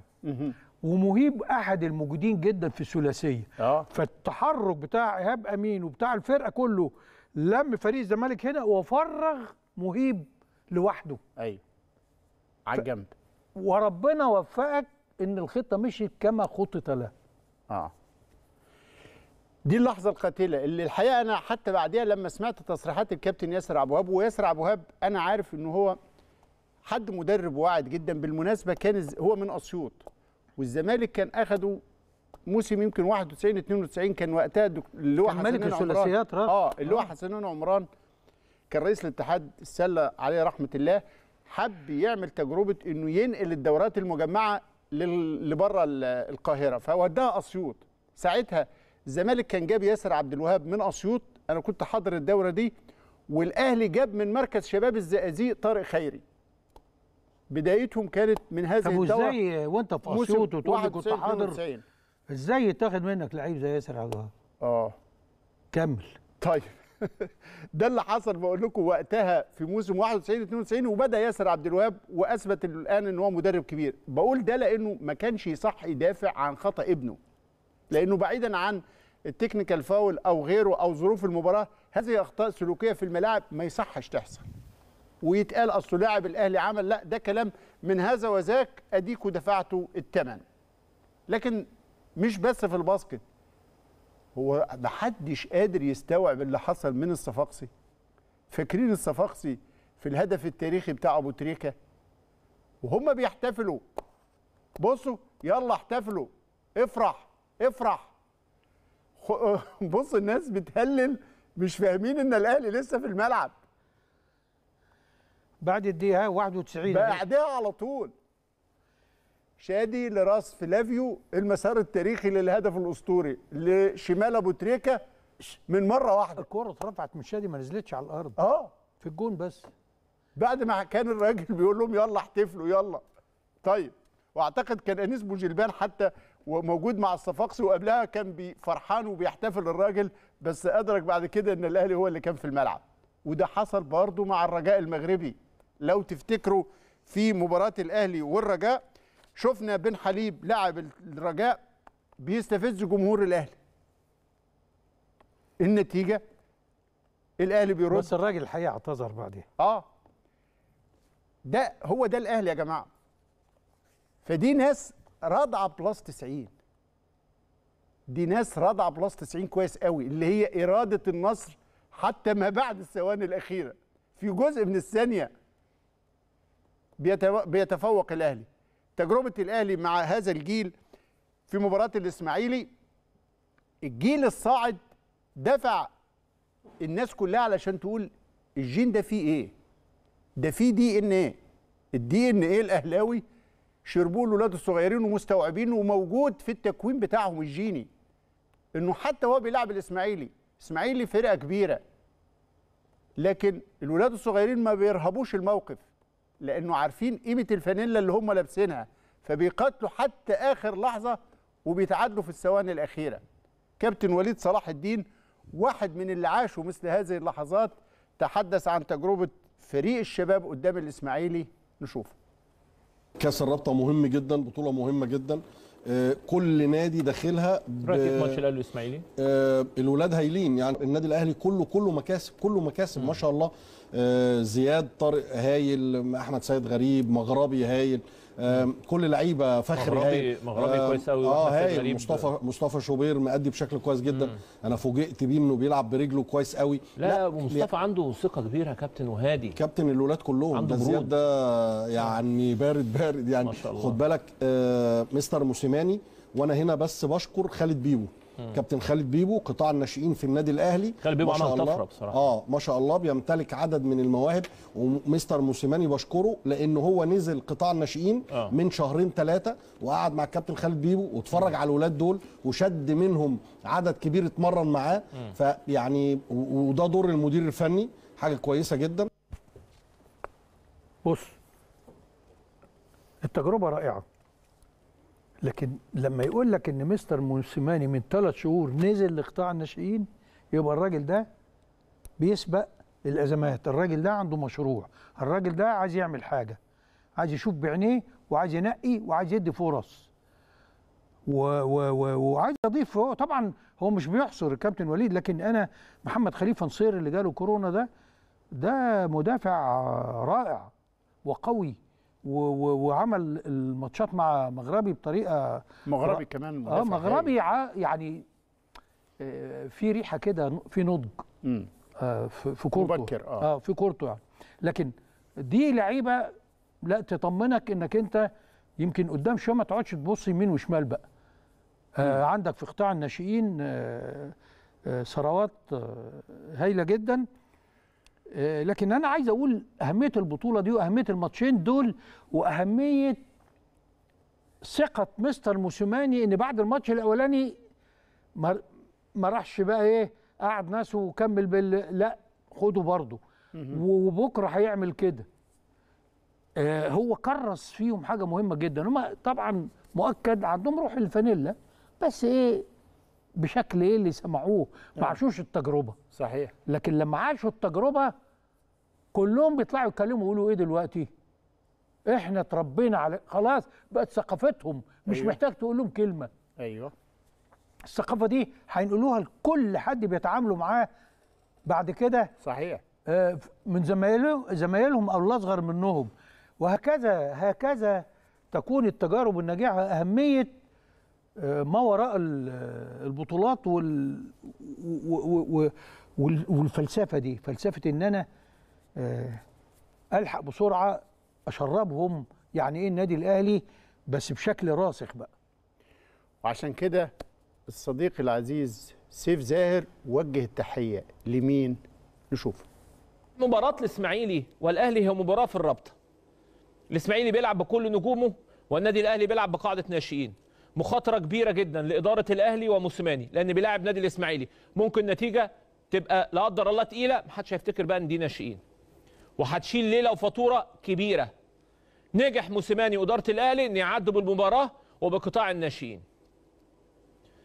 لعيبة النادي الإسماعيلي كان ممكن يخلصوا المباراة جابوا هدف وخلاص خلصت القصة على كده وريمونتادا لناشئين الأهلي وشغالين ماسكين محجرين في المباراة التحية هنا مش تحية مباراة يعني مش تحية الأهلي والإسماعيلي لا إحنا بنشيد بالتجربة تجربة الأهلي بنشيد بروح الناشئين اللي ناخد منهم درس. plus 90 دي ما بقتش بتاعه عماد متعب ما بقتش بتاعه أي لعيب في النادي الأهلي لا دي بقت بتاعه النادي الأهلي نفسه system النادي الأهلي اللي بيربي النشء والاولاد على ال plus 90 انت محجر في المباراة لآخر ثانية.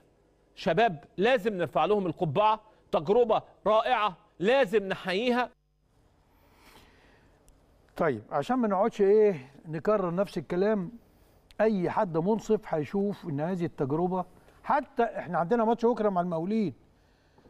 ايا كانت النتيجة إحنا بنتكلم على التجربة مش على النتائج. مش عايزين رأينا يبقى محمل مربوط بالنتيجة. من واقع النتيجة. لكن طبعا لو عملت النتائج اللي إحنا عايزينها يبقى جابت. لنا نتائج أيضا الحسنيين.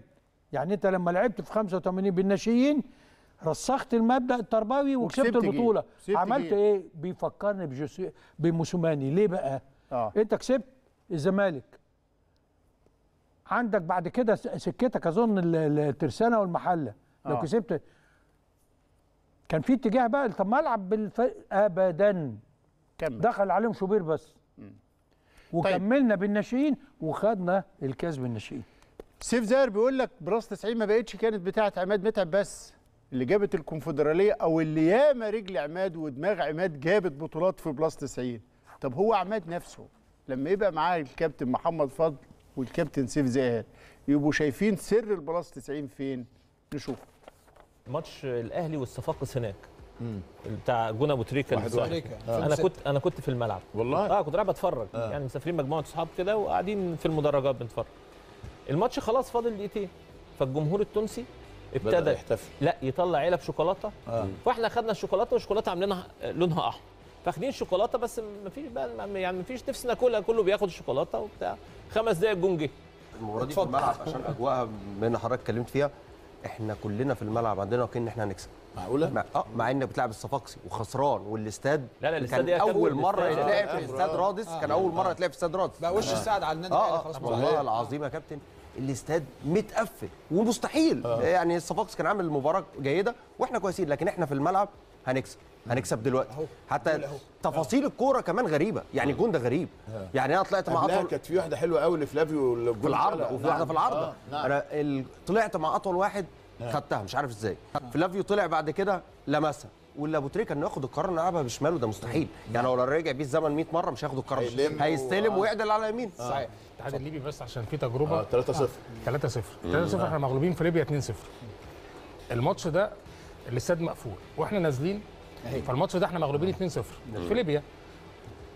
ف وإحنا نازلين هو خلاص التشكيل بان إحنا موجودين الماتش هيتلعب فنازلين. اول ما نزلت أنا ما كنتش شفت الجمهور. فشفنا الجمهور كلنا وإحنا نازلين. والله العظيم كلنا كلعيبة يا رب النهارده 3 0 فالشوط الأولاني خلص 0 0 وكان الجمهور بيزوم جامد جدا إن أنت أيوة. فرص غير طبيعية على خط الجون بتضيع. بس إحنا على يقين إن هنكسب ثلاثة فعماد جاب الأولاني. أنا جبت الثاني الناس كلها خلاص آه، extra time أو ضربة جزاء. لا إحنا على يقين إن هيجي جول وبص جيلبرتو من بره كان بيعمل إزاي؟ كان بيسخن وقاعد بيجيب الكرة بسرعة. هو ده روح النادي واللعيبة كلها. فدي حاجة مش مكتسبة دي حاجة موروثة. الامثله كتيرة. طب والماتش اللي اتفرجنا عليه في البيت عندي في الجنينة؟ آه. بتاع الكاس. آه. بتاع 4 3 اسامه ده مرتين. مرتين. اسامه حسني. آه مرتين. في أيوة. الدقائق الأخيرة من الوقت الأصلي ها؟ وابو تريكة يجيب الجول. وبعدين تلعب وقت إضافي تتأخر ويرجع ت... يعني لا. لا صعب قوي صعب قوي وفيها ذكريات كتيرة قوي خلت الكابتن وليد صلاح الدين يقول لك مع الأهلي وبلس 90 مش هتقدر تغمض عينيك. نشوف انت الكابتن الخطيب لبسك التيشيرت بتاعه مش كده برضو؟ كان متابعك انت في قطاع الناشئين. آه. كان في نظام آه، في النادي الأهلي عارف حضرتك آه، ملعب مختار التتش. ده كان فريق أول وناشئين. فكان دايما الفريق الأول التدريب بتاعه الساعة 3 وإحنا تمريننا الساعة 1 بعد صلاة الجمعة. فالفريق الأول كله بيقعد يتفرج على الناشئين ماتشاتكم كمان. ماتشاتنا.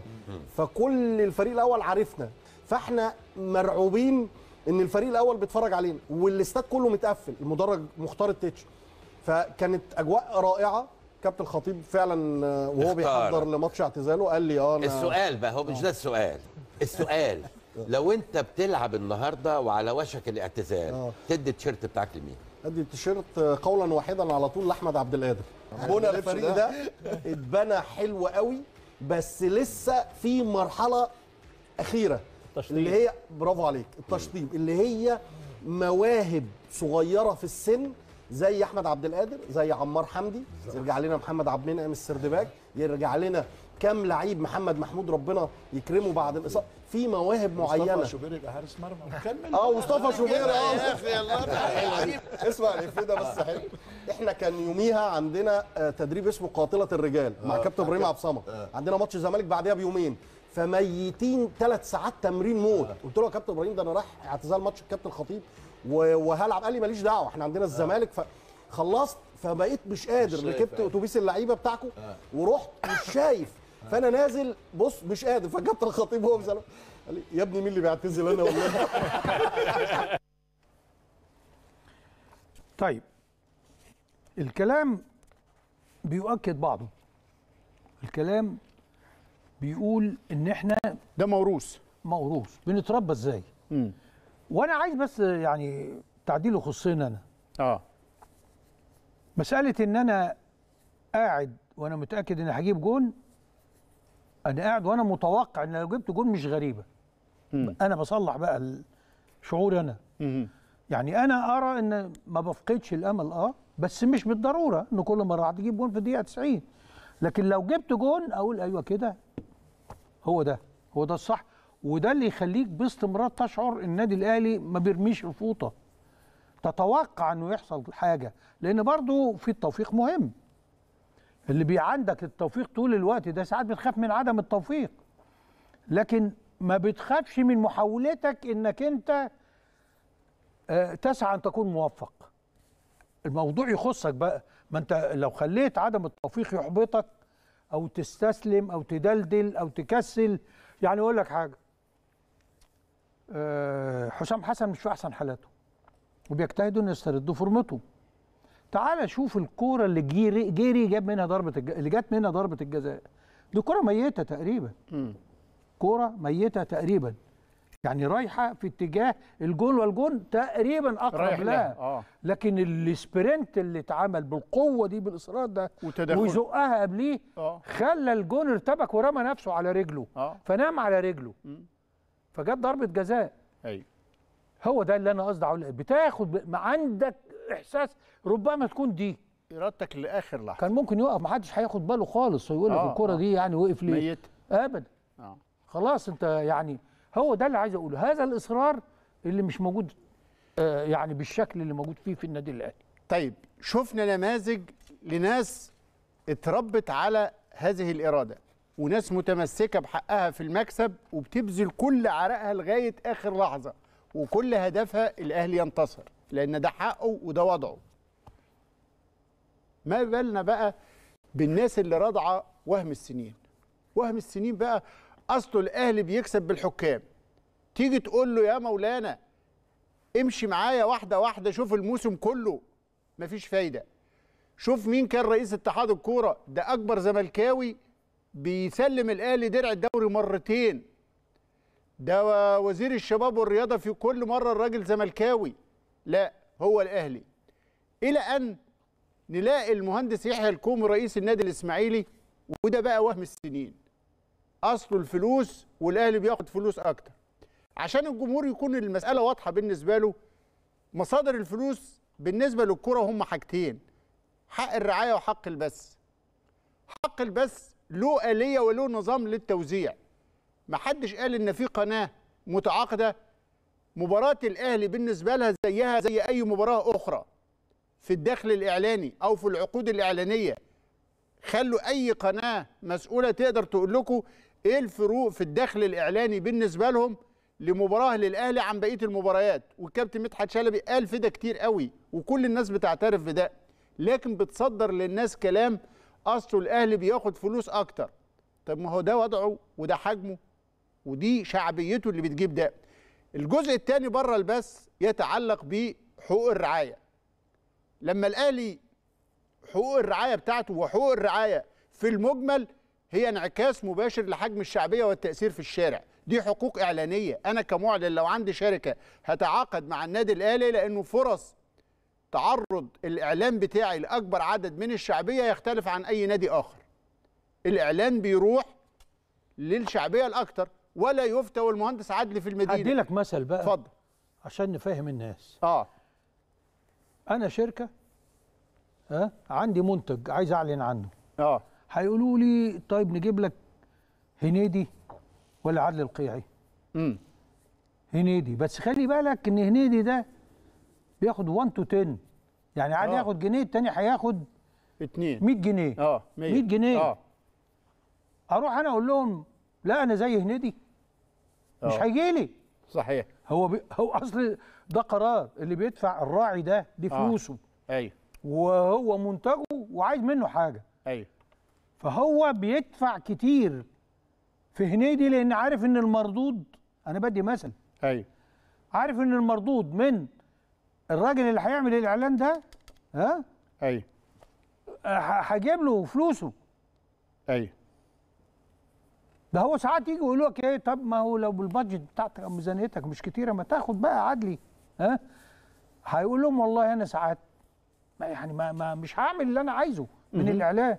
أو ساعتها ممكن يقول إيه طيب وعدلي ده هياخد مني كام؟ آه ممكن. فرق الفلوس يسمح لي إن أنا أروح لعدلي بين عدل وهنيدي. ال- اللي أنا عايز أقوله آه.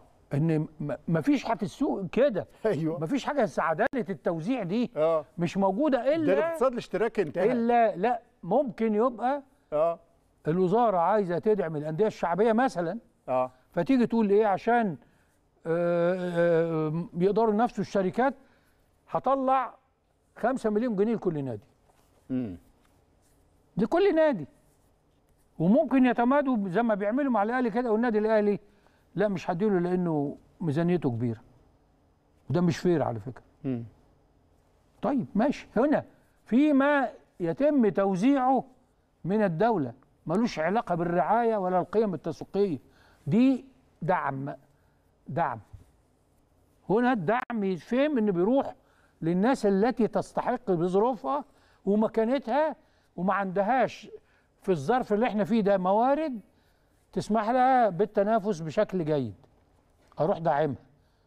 لكن يا باشمهندس محدش قال لك انك انت آه، يعني لا تسعى.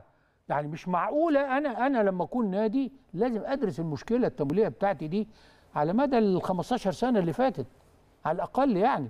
ويكون لقيت موارد وأساليب جديدة تجيب لي تجيب لي فلوس.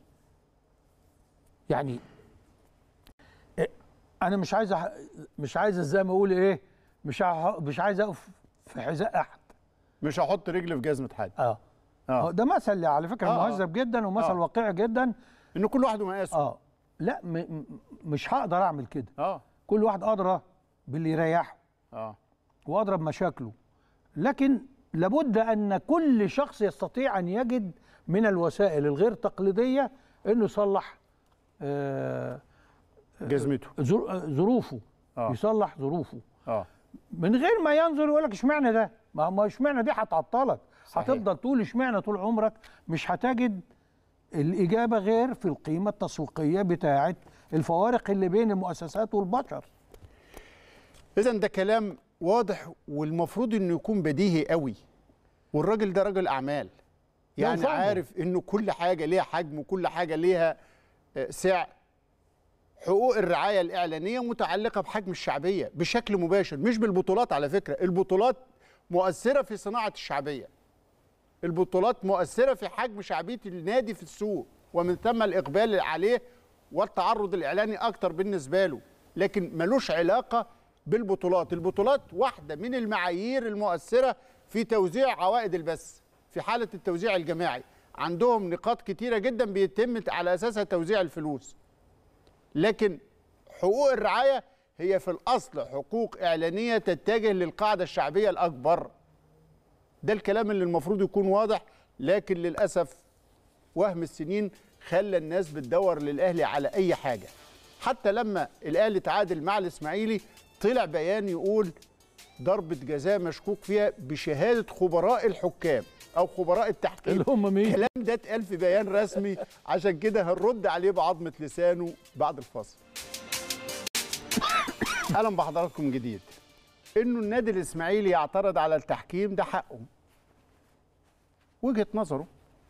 كل الأندية لما بتشوف من وجهة نظرها إنه تعرضت لخطأ حتى في وجهة نظرها من حقها تقول. لكن الحقيقة البيان اللي طلعه النادي الإسماعيلي بعد التعادل مع الأهلي مش بس إحنا هنقف عند حتة إن المهندس يحيى الكومي يتحدث عن شعبية الأهلي وبطولات الأهلي. ويقول لك أنا المشكلة إن مفيش عدالة اللبانه بتاعت العدالة الغايبة. ومش عارف العدالة غايبة ولا الغزالة رايقة. العدالة هي العدالة غايبة ولا الغزالة رايقة؟ ده السؤال. لأنه الحقيقة لما نيجي نتكلم نقول لهم يا جماعة طب أنتوا بتقول النادي الإسماعيلي مطلع بيان بيقول إنه الأهلي تعادل بضربة جزاء مشكوك فيها بشهادة خبراء التحكيم. وما أعرفش جابوا شهادة خبراء التحكيم. المهندس يحيى الكومي ده منين؟ هل يا باش مهندس يكفيك رد خبراء التحكيم كلهم ولا لا؟ مبدئيا مش هنجيب رأي أي حد أهلاوي. ما دامت الغزالة رايقة والعدالة غايبة. ينفع رد الكابتن أحمد حسام ميدو نجم الزمالك ومدرب الإسماعيلي السابق. نشوف طبعا في انفعال من من المهندس يحيى الكومي رئيس رئيس ال- النادي. لكن أنا أنا راجل مش بتاع تحكيم. وأنا بقول لكم محدش يزعل مني يعني محدش يزعل مني. الكرة ضربة جزاء. الكرة فيها إهمال من أحمد عادل عبد المنعم. أحمد عادل عبد المنعم طالع متأخر والراجل حسام حسن قطع من وراه المسها بعد كده أي كونتاكت بينالتي اسمه إن ده إهمال. إهمال من المدافع أو من الحارس. قصده بقى مش قصده القانون خلي بالكم ما بيقولش قصده ولا مش قصده. أنا بقول لكم يا جماعة والله آه، يعني بدون أي تحيز لأي حد. الكورة ضربة جزاء. ما فيهاش كلام. والكوره بتاع باهر المحمدي الراجل طالع انذار تاني وطرد. أنا بقول لكم رأيي بصراحة. طب أقول لكم حاجة عشان ربنا هو اللي بيسوق الأهلي اتظلم قبل الكورة بضربه الجزاء دي بثانيتين. شوفوا الكورة بتاعه ابننا اللي, اللي رقص من فوق المدافع اتعمل معاه فاول ما اتحسبش. فراحت الكورة ل... ل... ل... في اتجاه حارس مرمى الإسماعيلي. لو اتحسب الفاول ده ما كانش ضربة الجزاء دي جت. يعني لو الحكم عايز يت... يعني عايز يتحيز كان حسب لنا الفاول ده. لا مش كده بس كان حسب الطرد بتاع باهر محمدي. طب ما هو ما حسبش الكلام ده. طيب ما حبيناش نجيب رأي الكابتن أحمد شوبير؟ يا باشمهندس كومي جبنا رأي الكابتن أحمد حسام ميدو لأن قلنا لك مش هنجيب حد أهلاوي. ورحنا لخبراء التحكيم. اللي بيان النادي الإسماعيلي قال إنه بشهادتهم الأهلي كسب ببنالتي غلط. نشوف الكابتن سمير عثمان. أول حاجة نوقف هنا الكورة. أما نيجي نبص هنا في ال- الخطأ الخطأ هنا تم الخطأ أهو هنا في الحتة دي. الخطأ هنا دي في الرقبة. الرقبة وال- والوجه من المناطق الغير محمية تمام؟ الكورة دي أول حاجة مش طرد. وهي مش إهمال. هي تهور. ليه؟ التهور عشان خبطه في رقبته. تهور يعني حاجة بسيطة جدا إنذار. يعني الراجل ده عنده إنذار يعني الحكم يصفر. شايف الكرة يديله الإنذار الثاني ويطرده بره. تمام؟ بعد كده نيجي لذكاء لاعب. ذكاء لاعب في احتساب ركلة الجزاء. الكوره كانت في متناول حارس المرمى رايح لها بس حسام حسن مد رجله مد رجله فبطريقه لا إرادية لا إرادية آه، آه، آه، أحمد عبد عبد المنعم خبط رجل حسام حسن لا إرادية دي تتحسب ولا هتتحسب كابتن؟ تتحسب يعني يعني هو يقصد ولا ما يقصدش برضه يقصد وما يقصدش. اتلغت بقى لها 12 سنة. أوه. عشان كده القانون عمل ثلاث حاجات قال لك إهمال أنا بلعب بطريقة في إهمال مش هدي فيها كروت إنما لو فيها تهور بلعب الكورة وبخبط الخصم بتاعي بس أنا مش خايف على سلامته. عشان كده القانون قال لك تهور تهور يعني كارت اصفر لو بستخدم قوة زايدة هي دي بقى الأحمر. عشان كده يا كابتن حسني ال- التعمد ده خلاص انتهى. طبعا هو راح ياخد الكوره حسام طبعا ذكي مد رجله. شيء لا إرادي بطريقة عفوية. التلاحم ده خلاص هيبقى فيه ركلة جزاء. ركلة جزاء سليمة 100% تنفيذ اللعب من ضمن الحاجات المهمة. نقف هنا. نقف هنا. ده اللي جاب الجول. خلي بالك. ده اللي جاب الجول. اللي إحنا معلمين عليه ده. هنعمل عليه إشارة حمراء. لو الكرة اتصدت من حارس المرمى وده دخل وده دخل قبل تنفيذ ركلة الجزاء هتبقى لا لا، تبقى ركلة سليمة. حرة غير مباشرة. آه. ركلة حرة غير مباشرة. بس لما نيجي نبص هنلاقي أحمد لعيب نادي الأهلي دخل في وقت مظبوط. نعمل بلاي للكرة نشغلها عادي. دخل بعد التنفيذ أحرز الهدف كان قرار سليم. مباراة مليئة بالأحداث. محمد صباح النهارده. طبعا هنا في مطالبة للنادي الإسماعيلي ركلة جزاء ما جاتش في ركلة جزاء جت في صدره. كان قرار سليم. مسألة مشروحة. و- واتفق عليها بقى أدي ميدو والكابتن جهاد جريشة. كابتن حسام سمير عثمان. كابتن جهاد جريشة لأنه الحقيقة آه، ميدو اتصل بالكابتن جهاد جريشة. أدي الضربة يا باشمهندس اللي أنت كنت عايزها. آه بصوا من هنا تاني والنبي ارجع بس ثانية واحدة. ثانية واحدة بس اللي لابننا ده بتاع 2004 اللي رقص ده أهو. اهي شفت الكوع اللي في وشه؟ قدام الحكم الرابع. خد بالك تاني. ها؟ يا ابني شغال الشاشة دي. بس. خلاص كفاية. والكابتن أحمد عادل أه؟ أهو. ده آه، ده ده عايز الأولانية أنت. ده أحمد عادل عبد المنعم رجع عرف إن ضربة جزاء يعني ما وقفش مثلا آه، إدى ظهره زي قلت إيه اللي حصل ده؟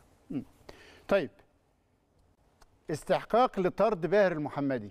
وهل الناس تتخيل إنه لاعب يرتكب هذا العنف في الدقيقة 20 البيان الغاضب والتصريحات بتاعة المهندس الكومي أنت متخيل إنه أفضل لاعب في الإسماعيلي وأكثرهم خبرة واللاعب الدولي الكبير وكابتن الفريق يطرد من الدقيقة 20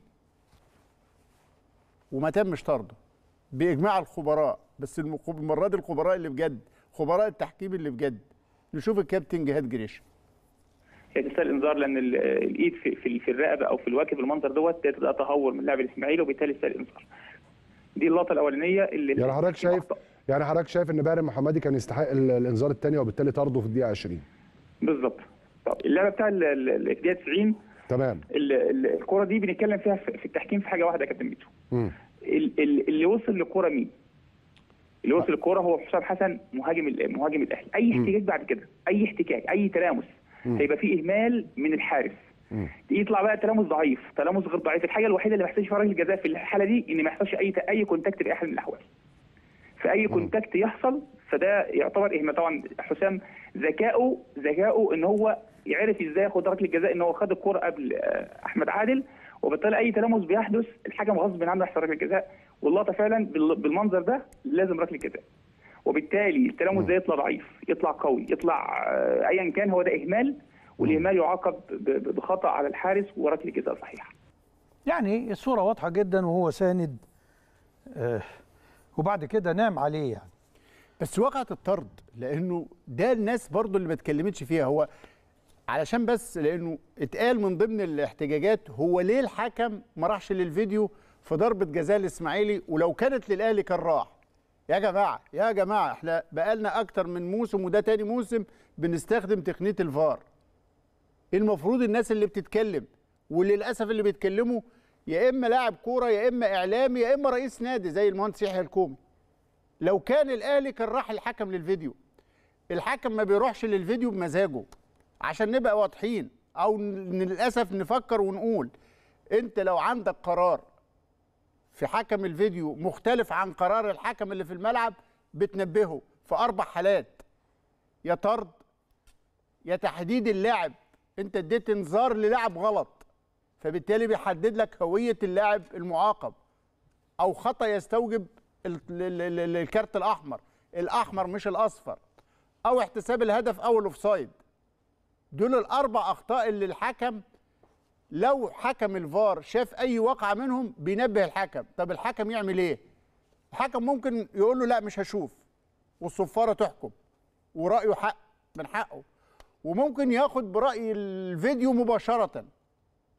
ما دام الفيديو متأكد وهو عنده استعداد يسلم بده أو يعمل تشيك فيديو ويطلع يشوف بنفسه ويقرر بعد كده بناء على رؤيته. إنما مش هي مش سهلة كده وهليلة اطلع شوف وحتى وانت بتروح يعني- للاهلي بيروح للاهلي لأنه الحكم الفار قال له في خطأ. مختلف عن قرارك أكد يعني هو الفار أكد له آه. على على صحة قراره إنما لو القرار واحد. والكابتن عصام عبد الفتاح آه، عشان تلحق تاخد ال... الأدهش بقى إن آه. إن رئيس لجنة الحكام يقول إن اللي اتظلم في الماتش ده هو النادي الأهلي نشوف الحقيقة آه، بيان النادي الإسماعيلي اللي الحقيقة قريته الحقيقة صعب جدا. اولا بيقول تحكيم فج آه، بيقول لازم يتحقق مع الحكام بيقول الحكام دي ما نشوفهاش. ده مش من حق النادي الإسماعيلي يقول هذا الكلام فدي أول شيء يعني. ولكن أنا شايف إن البيان آه، بعيد تماما عن الحقيقة يعني. تماما عن الحقيقة. بكلمك بكل أمانة يا كريم. أنا طبعا ركلة الجزاء شفنا المحللين النهارده حللوها وقالوا إن هي ركلة جزاء. آه، خلينا نتكلم لو في أخطاء يا كريم ده في أخطاء تانية آه، ممكن حصلت آه، ضد النادي الأهلي. لو نتكلم بقى بمصداقيه وأنت عارف أنا بكلمك بمصداقيه يعني كان في لاعب في النادي الإسماعيلي يستحق انذار وكان ممكن يكون الإنذار الثاني ويطرد في الشوط الأولاني.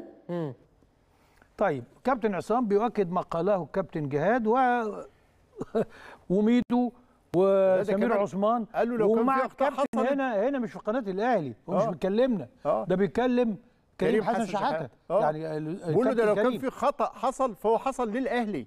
كان الأهلي هو اللي يستحق.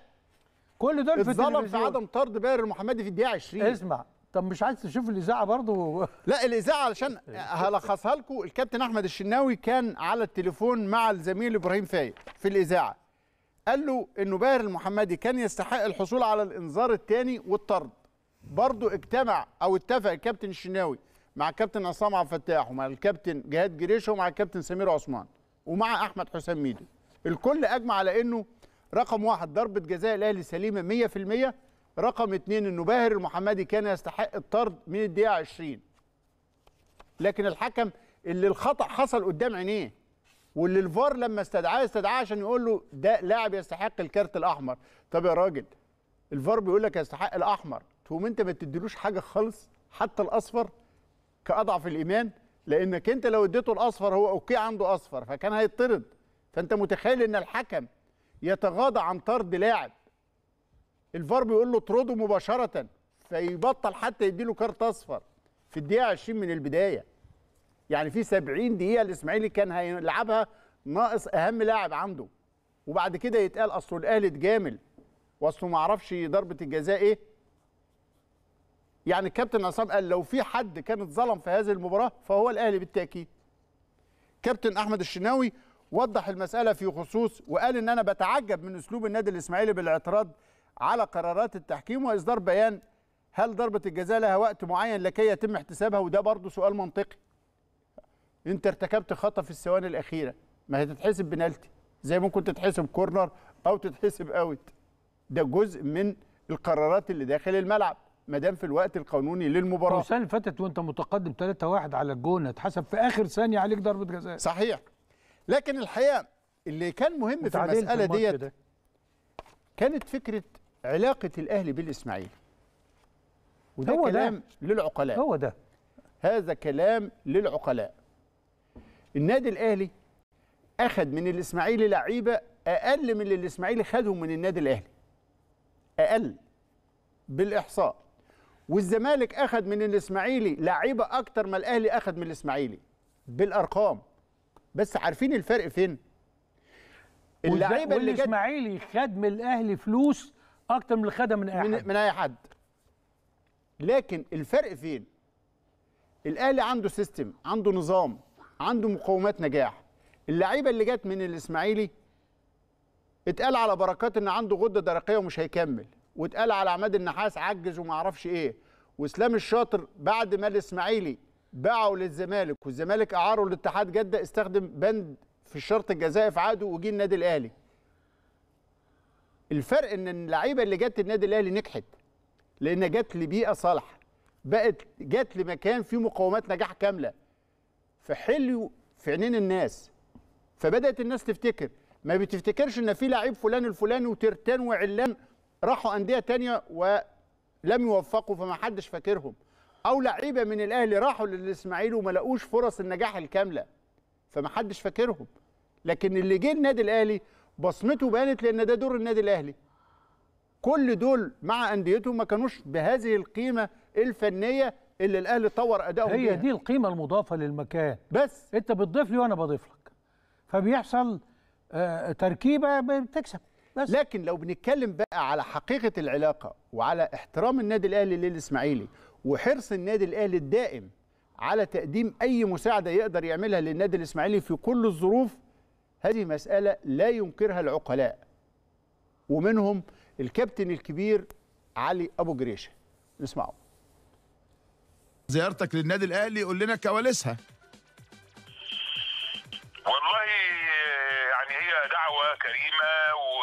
والحقيقة رحنا وقعدنا مع المسؤولين. طبعا على رأسهم الكابتن الخطيب نعم. رئي- رئيس المجلس و- و- والناس متعاونة معانا جدا يعني. كويس. في في أسماء مطروحة بس أنا مش قادر أقول أي أسماء إلا لما آه. يعني آخد أوكي رسمي آه. عشان بس ما أحرجش حد وكده. لكن في تعاون كبير جدا. آه. وفي وفي معاونة يعني صادقة من ال... من النادي الأهلي إن هو عاوز يعني عارف الإسماعيلي في ظروف صعبة و... وبيساند يعني الحقيقة بجهد كبير جدا. طيب ده شيء جميل. يعني بصراحة النادي الأهلي عمل اللي عليه وعمل دوره وساهم بحاجات كتيره يعني بصراحة. ما أقدرش أقول فيها تفاصيل لكن آه، ساهموا بحاجات كتيرة. طبعا الكابتن الخطيب آه، الناس كلها ما أثرتش زي كابتن سيد عبد الحفيظ راجل معانا ومتعاون لآخر وقت. آه. كل الناس الجميلة والناس كانت يعني روحها طيبة جدا. تعرف الحساسية اللي تبقى موجودة ناحية ال- النادي الأهلي في الإسماعيلية؟ عايزك تحكي لي اللقاء مع الكابتن الخطيب يعني وأنا عارف إن أنتوا مش أصدقاء أنتوا يعني أكتر من إخوات. لا والله خطيب عشرة عمر كبيرة يعني. نعم. يعني فالراجل يعني بأمانة لمست يعني الراجل الراجل بيعمل كل حاجة ومكلم الناس كلها. آه. أنا عايز أساعد الإسماعيلي. آه. شوف كابتن علي عايز إيه واعمل له اللي هو عايز. يعني في كلام يعني كتير والعلاقة الحمد لله كويسة. ده لعيب وايقونه من أيقونات آه الإسماعيلي في تاريخه. والراجل شاهد شهادة حق وأنا كنت يعني شاهد عيان في النص لأن كان الحوارات دي أنا مشارك فيها يعني. والراجل كان ممتن جدا وقال هذا الكلام داخل قناة الأهلي وخارج قناة الأهلي ودي ما كانتش مع مع قناة الأهلي هذه المداخلة. وعلى اللي يدهشك بقى إنه قال إن يعني طبعا هو أشاد وقال لك الراجل الحقيقة عمل كل طريق واتصل بكل الناس وقال لهم وقفوا مع, مع الإسماعيلي و و و. هذه الإشادة من الكابتن علي أبو جريشة تفتكروا مين كررها؟ بنفس الحرارة ونفس الطريقة قبل أن يتراجع عنها. المهندس يحيى الكومي يا أستاذ إبراهيم. قال نفس الكلام. أول ما جه أول مداخلة جاب سيرة الأهلي قال أشكر الأهلي والأهلي قال أنا تحت أمركم وأشاد. لكن هو متوقع النادي الاهلي يقدر يجبر لعيب انه يروح اي مكان آه يعني غصب عنه. طيب ده كلام يعني نتمنى إنه يكون واضح لجمهور الإسماعيلي لأنه فكرة إنه الإدارة والقيادات والمسؤولين ورئيس نادي وعضو مجلس إدارة بدل ما يناقشوا أوضاع النادي الإسماعيلي في مكانة لا يستحقها. الاسماعيلي واحد من القوى الكروية المحترمه المهمة في تاريخ الكرة المصرية. بدل ما تتبحث أسباب هذا ال- ال- الأمر اللي وصل لكده لا ندغدغ مشاعر الجمهور بالعزف على على. الوتر الطبيعي والمحفوظ الأهلي. أي حاجة بلغ على الأهلي. أصل الأهلي اللي بيعمل. يا عم الأهلي اللي بيعمل إيه؟ ده إحنا جبنا لك كل خبراء التحكيم وأبناء نادي الزمالك مش الأهلي. وشفت إن اللي اتظلم في المباراة الأهلي مش الإسماعيلي. أنا شفت آه، يعني آه، مقابلة للكابتن سيد بازوكا سيد أيوة. عبد الرازق آه. اللي 100 مرة طلع قال لهم أكذوبة إن الأهلي ما استضافناش دي غير حقيقية. آه بيسألوا بيقولوا البيان برضه بيتكلم إن الأهلي بياخد بطولاته بالمجاملات. آه. قال لهم طيب أنا معاكم. ها وقالها بطريقة ساخرة. الأهلي خد 42 بطولة. آه اونطه وفيها مجاملة وبطولتين آه صح. ده كلام يخش عقل مين؟ الأهلي منظم والأهلي كذا وقعد يعدد الأسباب. اللي هو ميدو بيكررها تاني. طيب أهي دي بقى النقطة المهمة. ميدو بيشكر الأهلي. ميدو بيشيد بالأهلي. خالد الغندور زعلان ليه؟ تجار الكراهية يا أستاذ إبراهيم مش هيعجبهم الكلام ده. بعد جائزة الإبداع الناس الموضوعية حبت تقف عند أسباب تفوق الاهلي وتميزه. جائزه بذات ليها معايير خاضعة لمعايير الاتحاد الأوروبي تقول إن الاهلي صاحب أفضل عمل مؤسسي في الوطن العربي. دي شهادة الأهلي ما اداهاش لنفسه. شهادة منحت ليه من جائزه عل... جائزه عالمية كبيرة في دبي. اتكلم ميدو عنها. وعن سيستم النادي الأهلي وأسباب نجاحه إيه نشوف ال- اللي ماشي بكل حاجة بال- بالثانية وبكل صحيح، حاجة صحيح. بنظام. أقرب وأقرب نعم. نادي أقرب نادي. ولا أخجل إن أنا أقول الكلام ده لأن إحنا لازم نبقى ما ينفعش ندفن راسنا في الرمل. الأهلي هو أقرب نادي للأندية الأوروبية. بيحاول إن هو يبقى عنده منظومة وإن هو يبقى عنده setup محترم وإن هو يقدر إن هو يشتغل صح ويبقى عنده vision لقدام و plan معمول وكل الكلام ده. ده الكلام ده من سنوات طويلة. فانت ب... انت انت بتنافس وحش. انت بتنافس نعم. نعم. وحش الاهلي تح- تحت تحتيه أرض صلبة. نعم. انت النهارده لما بتفضل كمسؤول جوه النادي بتتكلم على التحكيم وبتتكلم على المظلومية وبتتكلم إن الأهلي بيتجامل انت بتبني جوه الطفل الصغير اللي جوه النادي إن هو دايما عنده عذر ودايما عنده اكسكيوز ده إحنا الحكم ده إحنا كذا. عايزك تشوف الفرق تاني يوم ما بين الأهلي لو خد الدوري تاني يوم اللعيبة راح راح التمرين إزاي اتفرج. لعيبة الأهلي كسبت البطولة احتفلت النهارده تاني يوم اليوم خلص. أنا لازم إن أنا أفكر في اللي جاي إن أنا أكسب. نعم. تاني وتالت وعاشر ورابع ومليون. عندما يتحدث الناس متحررين من الانتماءات والكلام اليمين والشمال بتطلع قول الحق. كابتن ميدو أنا بقول لكم قبل كده 100 مرة عندما يتحدث في الكوره بموضوعية تاخد منه رأي. رأي محترم وسليم وفير. يتحدث عن أسباب فوز الأهلي. هو بياخد البطولة ويقول لك الأهلي تاني يوم. اللعيبة هم هم. في التمرين اقفل الصفحة وكأنهم ما عملوش أي حاجة. مش ناس تعيش ليل نهار في أفراح وتلاقي الكاس ده في كل حتة في أحياء مصر. هو ال ال ال ال أو الجايزة يعني. ال ال ده كلام كابتن ميدو مش كلام حد آه، من النادي الأهلي. وفي كلام كتير جدا يعني هنطلع منه تباعا على فكرة لما الزميل سيف زاهر سأل الكابتن خالد الغندور وهو في ضيافته هو كابتن هشام حنفي إيه تعليقك على كلام ميدو؟ هو كلام ميدو ما مسش الزمالك كلام ميدو كله عن. إيجابية النادي الأهلي وأسباب تفوق النادي الأهلي. آه. اللي واضحة وضوح الشمس لكل الناس. تقول لي تحكيم مصري تقول لي تحكيم أجنبي تقول لي تحكيم أفريقي الأهلي بطل. الأهلي عنده system الأهلي عنده نظام الأهلي عنده ثقافة المكسب زي ما ميدو عددها بشكل. متعدد. ده يزعل خالد الغندور في إيه؟ يعني لو الأمر يخص نادي الزمالك من حق طبعا الكابتن خالد الغندور يدافع عنه ويرد عليه. لكن مين؟ لكن هل الإشادة بالأهلي آه، تزعل حد؟ آه تزعل. تزعل اللي عايز يغازل مشاعر الجماهير ويقول لهم شوفوا ده مش زملكاوي زي أنا بقى هديكم الكلام اللي تحبوا تسمعوه بس. الأهلي ماله؟ ما الاهلي مالوه اللي قالوا ميدو إنه الأهلي أقرب فريق للسيستم الأوروبي قالوا الكابتن الكبير الكابتن محمد عمر الفيديو الشهير اللي أنتوا كلكم حافظينه الأهلي نادي أوروبي وضع في مصر بالخطأ. دي مقولة نحتها محمد عمر نجم الإسكندرية الكبير. وعدتها أكتر من واحد بعد كده من وحي هذا النظام المتماسك اللي شهدت بيه جائزة محمد بن راشد للإبداع الرياضي. بدا لما الأندية المصرية الشقيقة المحترمة تبدأ تحاكي تجربة الأهلي تبدأ تدور على أسباب انتظام النادي الأهلي تبدأ تدور على ليه النادي الأهلي متفوق؟ يتقال لك أصل النادي الأهلي لما اتحل مجلس إدارته الحكومة لغت القرار في دقيقة ساعتها أيام الكابتن طاهر أبو زيد لأنه كان قرار غير سليم كان قرار غير صائب ما كانش مبني على أي حاجة بدليل إنه لا الكلام اللي اتقال راح النيابة ولا حد سمع إن في قضية ولا أي حاجة. ورئيس الوزراء شاف ساعتها إن ده تغول من وزارة الشباب والرياضة على استقرار نادي ما ارتكبش خطأ. بدليل زي ما بقول لكم ما فيش حاجة لا اتحقق فيها ولا راحت النيابة.